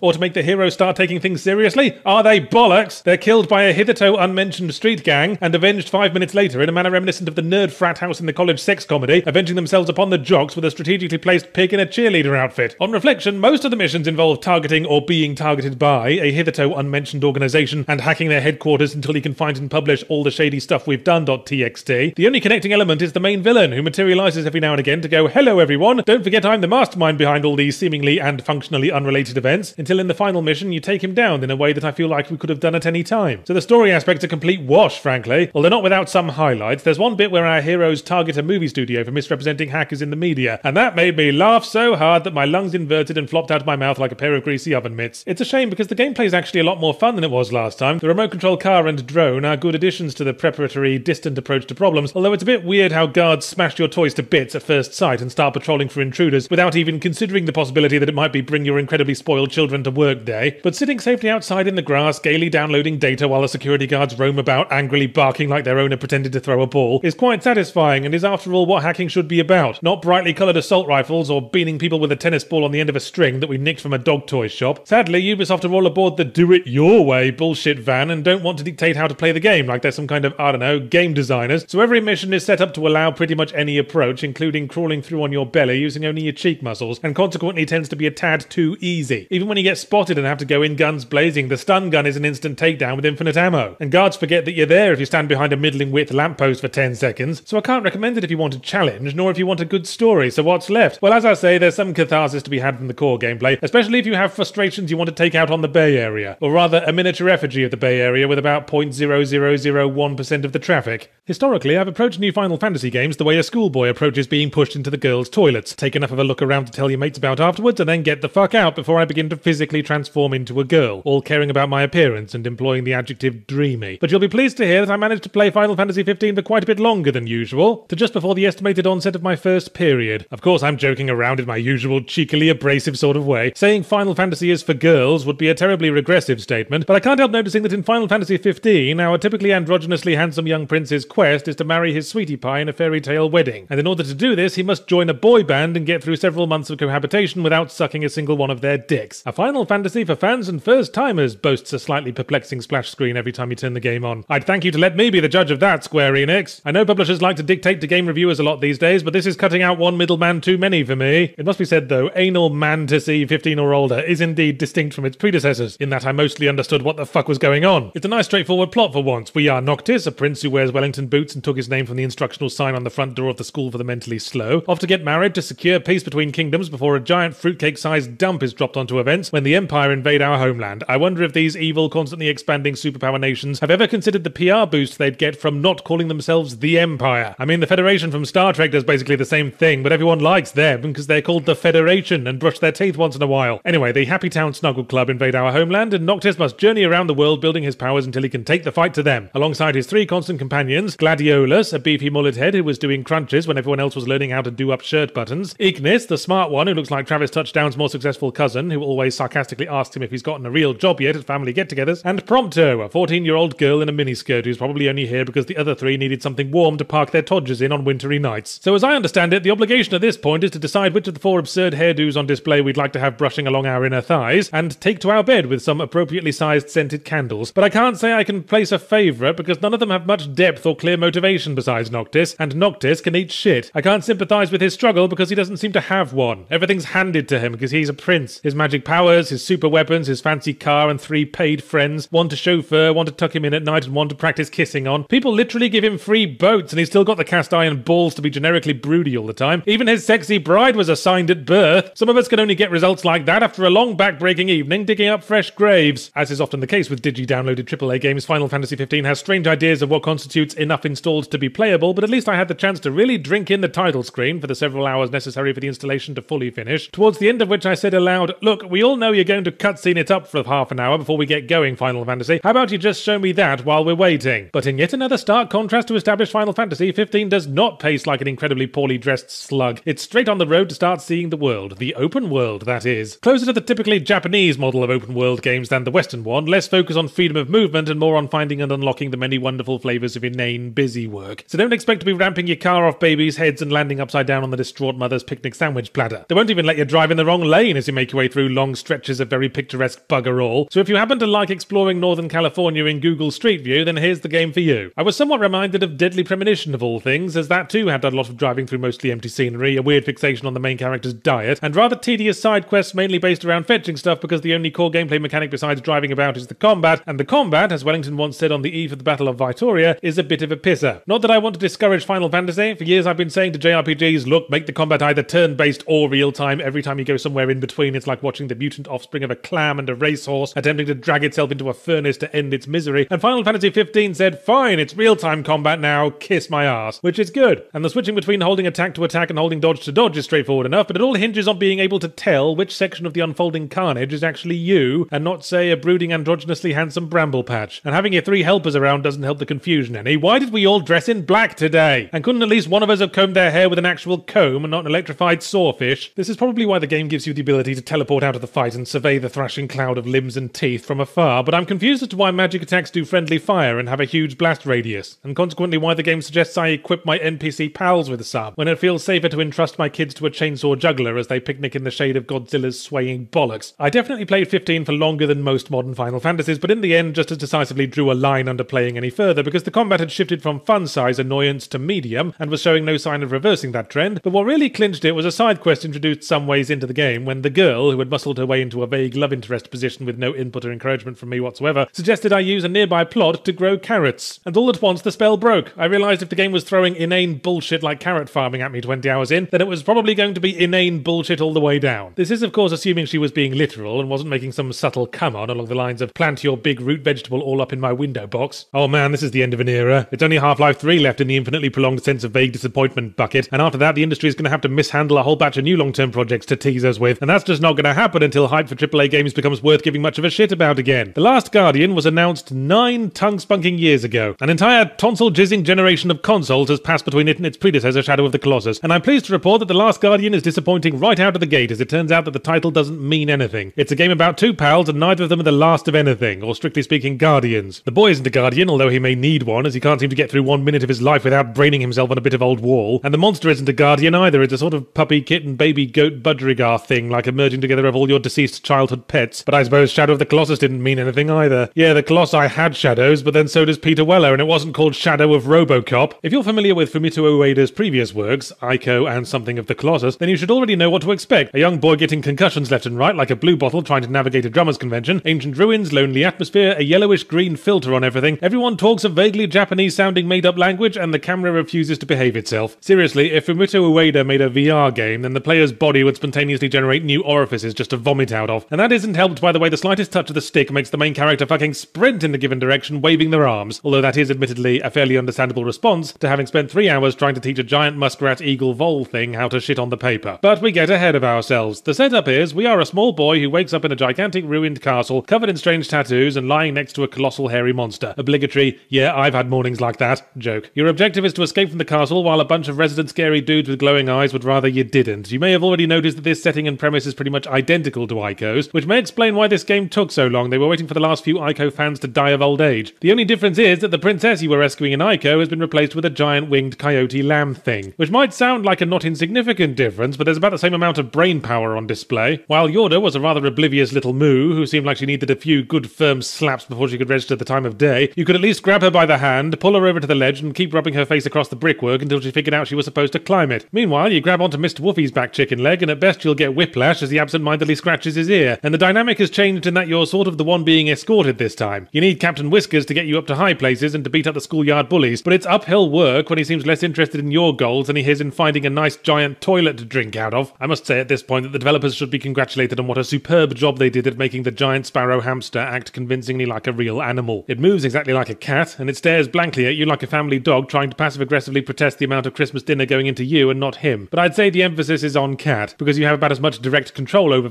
Chops as you do on a bar of soap in the bath. You start the game with the ability to call him to your location, which is slightly redundant since he usually follows you anyway because he's still mulling over whether to play along or bite your chitlins off. Later on, your relationship improves and you can actually start giving him commands such as jump or go vaguely in that direction, or look around at precisely the moment I attempt to leap off your head onto a ledge. Oh, sorry, my mistake, that's not a command, he does that one for free. And jump seems to be quite an interpretive command that can equally mean jump up to the next ledge or jump down the seven or eight ledges I just spent the last half hour trying to get you to climb. So what you're saying is that the gameplay mechanic of directing your huge ferret osprey around is quite challenging, almost like it's some kind of, say, video game. I see your point, Josef Mengele, but a challenge isn't fair if the elements don't act consistently. For example, our furry friend is supposed to catch things that fly towards his mouth, but about half the time the neurone apparently doesn't fire and he just zones out like he's thinking about Jaffa cakes. This is very hilarious when you're trying to chuck him a treat and it bounces off his head with a hollow clonk. Not so funny when the thing he's supposed to be catching is you, in what is probably supposed to be a heartwarming moment of relationship building at the climax of a platforming puzzle, as you leap desperately away from a collapsing ledge and fall towards the adorable Mr. Touchy Face with arms outstretched. The cinematic slow motion activates as he cranes his neck forwards and proceeds to heroically, gormlessly stare at you, confused that you didn't bring him a biscuit as you plummet past his nose to your death. I was this close to quitting in frustration after I lost half an hour trying to figure out how to make Bonzo dive into a pool and swim through an underwater tunnel. I'm sorry, game, I can't seem to find the button for the dive down and swim through tunnel command. Perhaps it lies between the buttons for whap with rolled up newspaper and administer worming tablet on the controller that doesn't exist. But I did push through and was eventually able to enjoy the inevitable heartstring tugging ending, although the effectiveness was somewhat lessened by it, like the ending of Ico, hinging on us having grown invested in the relationship between boy and non-boy entity. While that was easier in Ico because Yorda was about as helpless as the last chicken nugget on a popular buffet table, and we'd spent the last eight hours trying to keep her from skipping nonchalantly into the mouths of passing tigers, Fluffy Wuff Barkington III felt more like part of the hazards, something we needed to work around rather than with. It'd be like getting invested in the relationship between the bloke from Shenmue and the bloke from Shenmue's forklift. Imagine that, the storybook romance between a cold piece of emotionless machinery and a forklift. What a year it's been. Explosive elections, more celebrity deaths than a terrorist bombing at a drug rehab clinic, and a slew of game releases that ran the entire spectrum of awful, bland, and grudgingly okay. Hence the annual top and bottom five, joined once again after last year's show-stopping, well, show-prolonging debut by the mediocre five, which to my mind is far more representative of the industry anyway. You'll find neither Call of Duty nor Battlefield on any of these lists, if only because it's getting too obvious. I could repeat that Call of Duty is crushingly mediocre, but I could more profitably use the time to smack myself on the forehead with the flat edge of a trowel.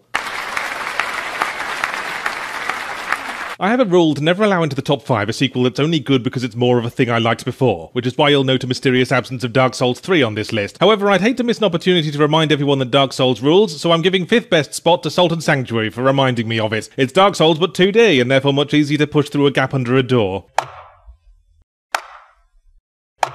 On the bland games list, meanwhile, more of the same sequels can come in, make themselves at home, settle into their favourite armchair, and bore the grandkids to death as much as they want. So step up, Deus Ex Mankind Divided. Deus Ex Human Revolution was Deus Ex but not as interesting or clever, and the developers of Mankind Divided apparently decided that what was bringing down its predecessor was that too much stuff happened in it. I suppose the fact that the very first game I reviewed went straight into the bottom five should have been read as a bad omen for the year, more so than that fucking gorilla anyway. Devil's Third was monumentally stupid and apparently designed by a schizophrenic with vibrators for thumbs, but it shall only skate at the edges of the bottom five for at least being weird enough to briefly distract one from, say, a recent bereavement or loss of limb.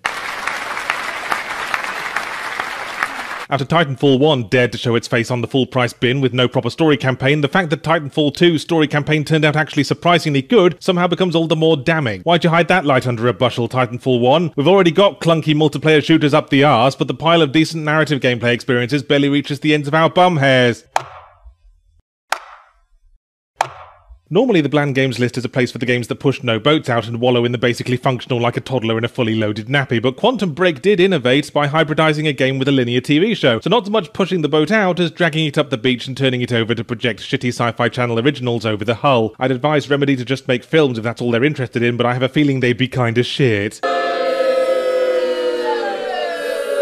Fourth worst is the first of two entries today that I like to collectively call Nintendo's prolonged public suicide. But you know, I've slightly mellowed to Metroid Prime Federation Force of late. They just wanted to try something new, right? Make a game that isn't atmospheric like Metroid Prime, explorative like Metroid Prime, or helmed by the strong protagonist of Metroid Prime, but call it Metroid Prime anyway. That's innovative, I suppose, in the sense that the atomic bomb had some innovative ideas about civic restructuring.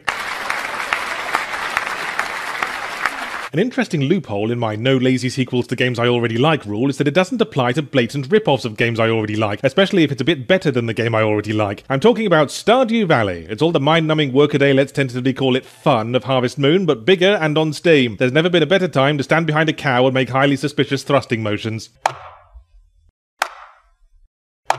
The second Nintendo game on the list only made it to third blandest, as the worst games list requires that I get at least slightly worked up, and the donut of my interest in Paper Mario games can only get heartlessly stamped on once or twice before all the jam has been squirted out. That's what you are, Paper Mario Color Splash. You are the last pathetic dribble that oozes from my once squirty donut. I always thought games lay on a straight line spectrum good games at the bell end, bad games at the pubes, and merely boring games in the veiny shaft. But it turns out sometimes boring can go so far that it comes out from the shaft and curves around to the pubes like a scrotum of ennui. Basically, what I'm saying is that the division is a phenomenally tedious ballsack, so unending and vast that if pressed against the face, it could euthanize a vegetative spouse. But let's get away from puerile cock metaphors and discuss a game about waving your long thing around so that it smacks into scantily dressed women. Furi, by no means a huge game, but big enough to do everything it needed to do. Full marks for the quirky and compelling characters, for challenging varied boss fights, and for pragmatically cutting out the usual bullshit that goes in between boss fights. No marks for spelling, though. Sometimes I feel like doing a top 5 most Ubisofty sandbox games as well, because if I were less restrained, it and the bland games list might end up interchangeable, but I decided I'd keep it to one, and that one is Far Cry Primal, this year's exemplar of Ubisoft sandbox blandness, now that the Division has moved to the big leagues. Reveal the terrain, collect bollocks, and invade strongholds. Then, for a change of pace, invade the terrain, reveal your bollocks, and collect someone to hold you strongly. VR is still in its experimental phase, and like CD-ROMs in the 90s, that means breaking new ground in terribleness. And CD-ROMs didn't make you physically ill unless you wired the spinning mechanism to your chair by mistake. But Batman Arkham VR is a rare kind of terrible even disregarding that. 30 bucks for a Batman experience equivalent to gluing Batman comic panels to your spectacles and locking yourself in a portaloo. So let's give Doom the best game trophy and give myself the England cricket team award for totally unsurprising results. But it was a generally shitty year, as George Michael fans will attest, and I'm not as enthused about Doom as I was with Undertale. I couldn't see myself sulkily ending a friendship with someone because they weren't moved to tears when the Doom Marine snapped off the Cyber Demon's left horn and shoved it up his icon of sin. Oh, how the internal debate raged whether this belonged in the worst or blandest list, but in the end, no passionate hatred can be sustained for a game in which you can spend 10 minutes pruning a giant pillar of rock with your colourful piss stream and not be entirely sure of how you profited from the venture. No Man's Sky, more like no game. That wasn't your strongest attempt at wordplay, Yahtz. No worries, I'll just patch something better in later. But it takes something special to top the worst games list. Bugs, bad design, and awful story are but single ineptitudes. When the game was obviously a bad idea at the concept stage, its eventual release requires a perfect sequence of bad decisions, or what physicists call a cock-up cascade. Homefront the Revolution started with the idea of making a sequel to a wish fulfillment for assholes modern shooter, and the resultant cock-up cascade was like watching a chihuahua in a dog wheelchair trying to descend a spiral staircase.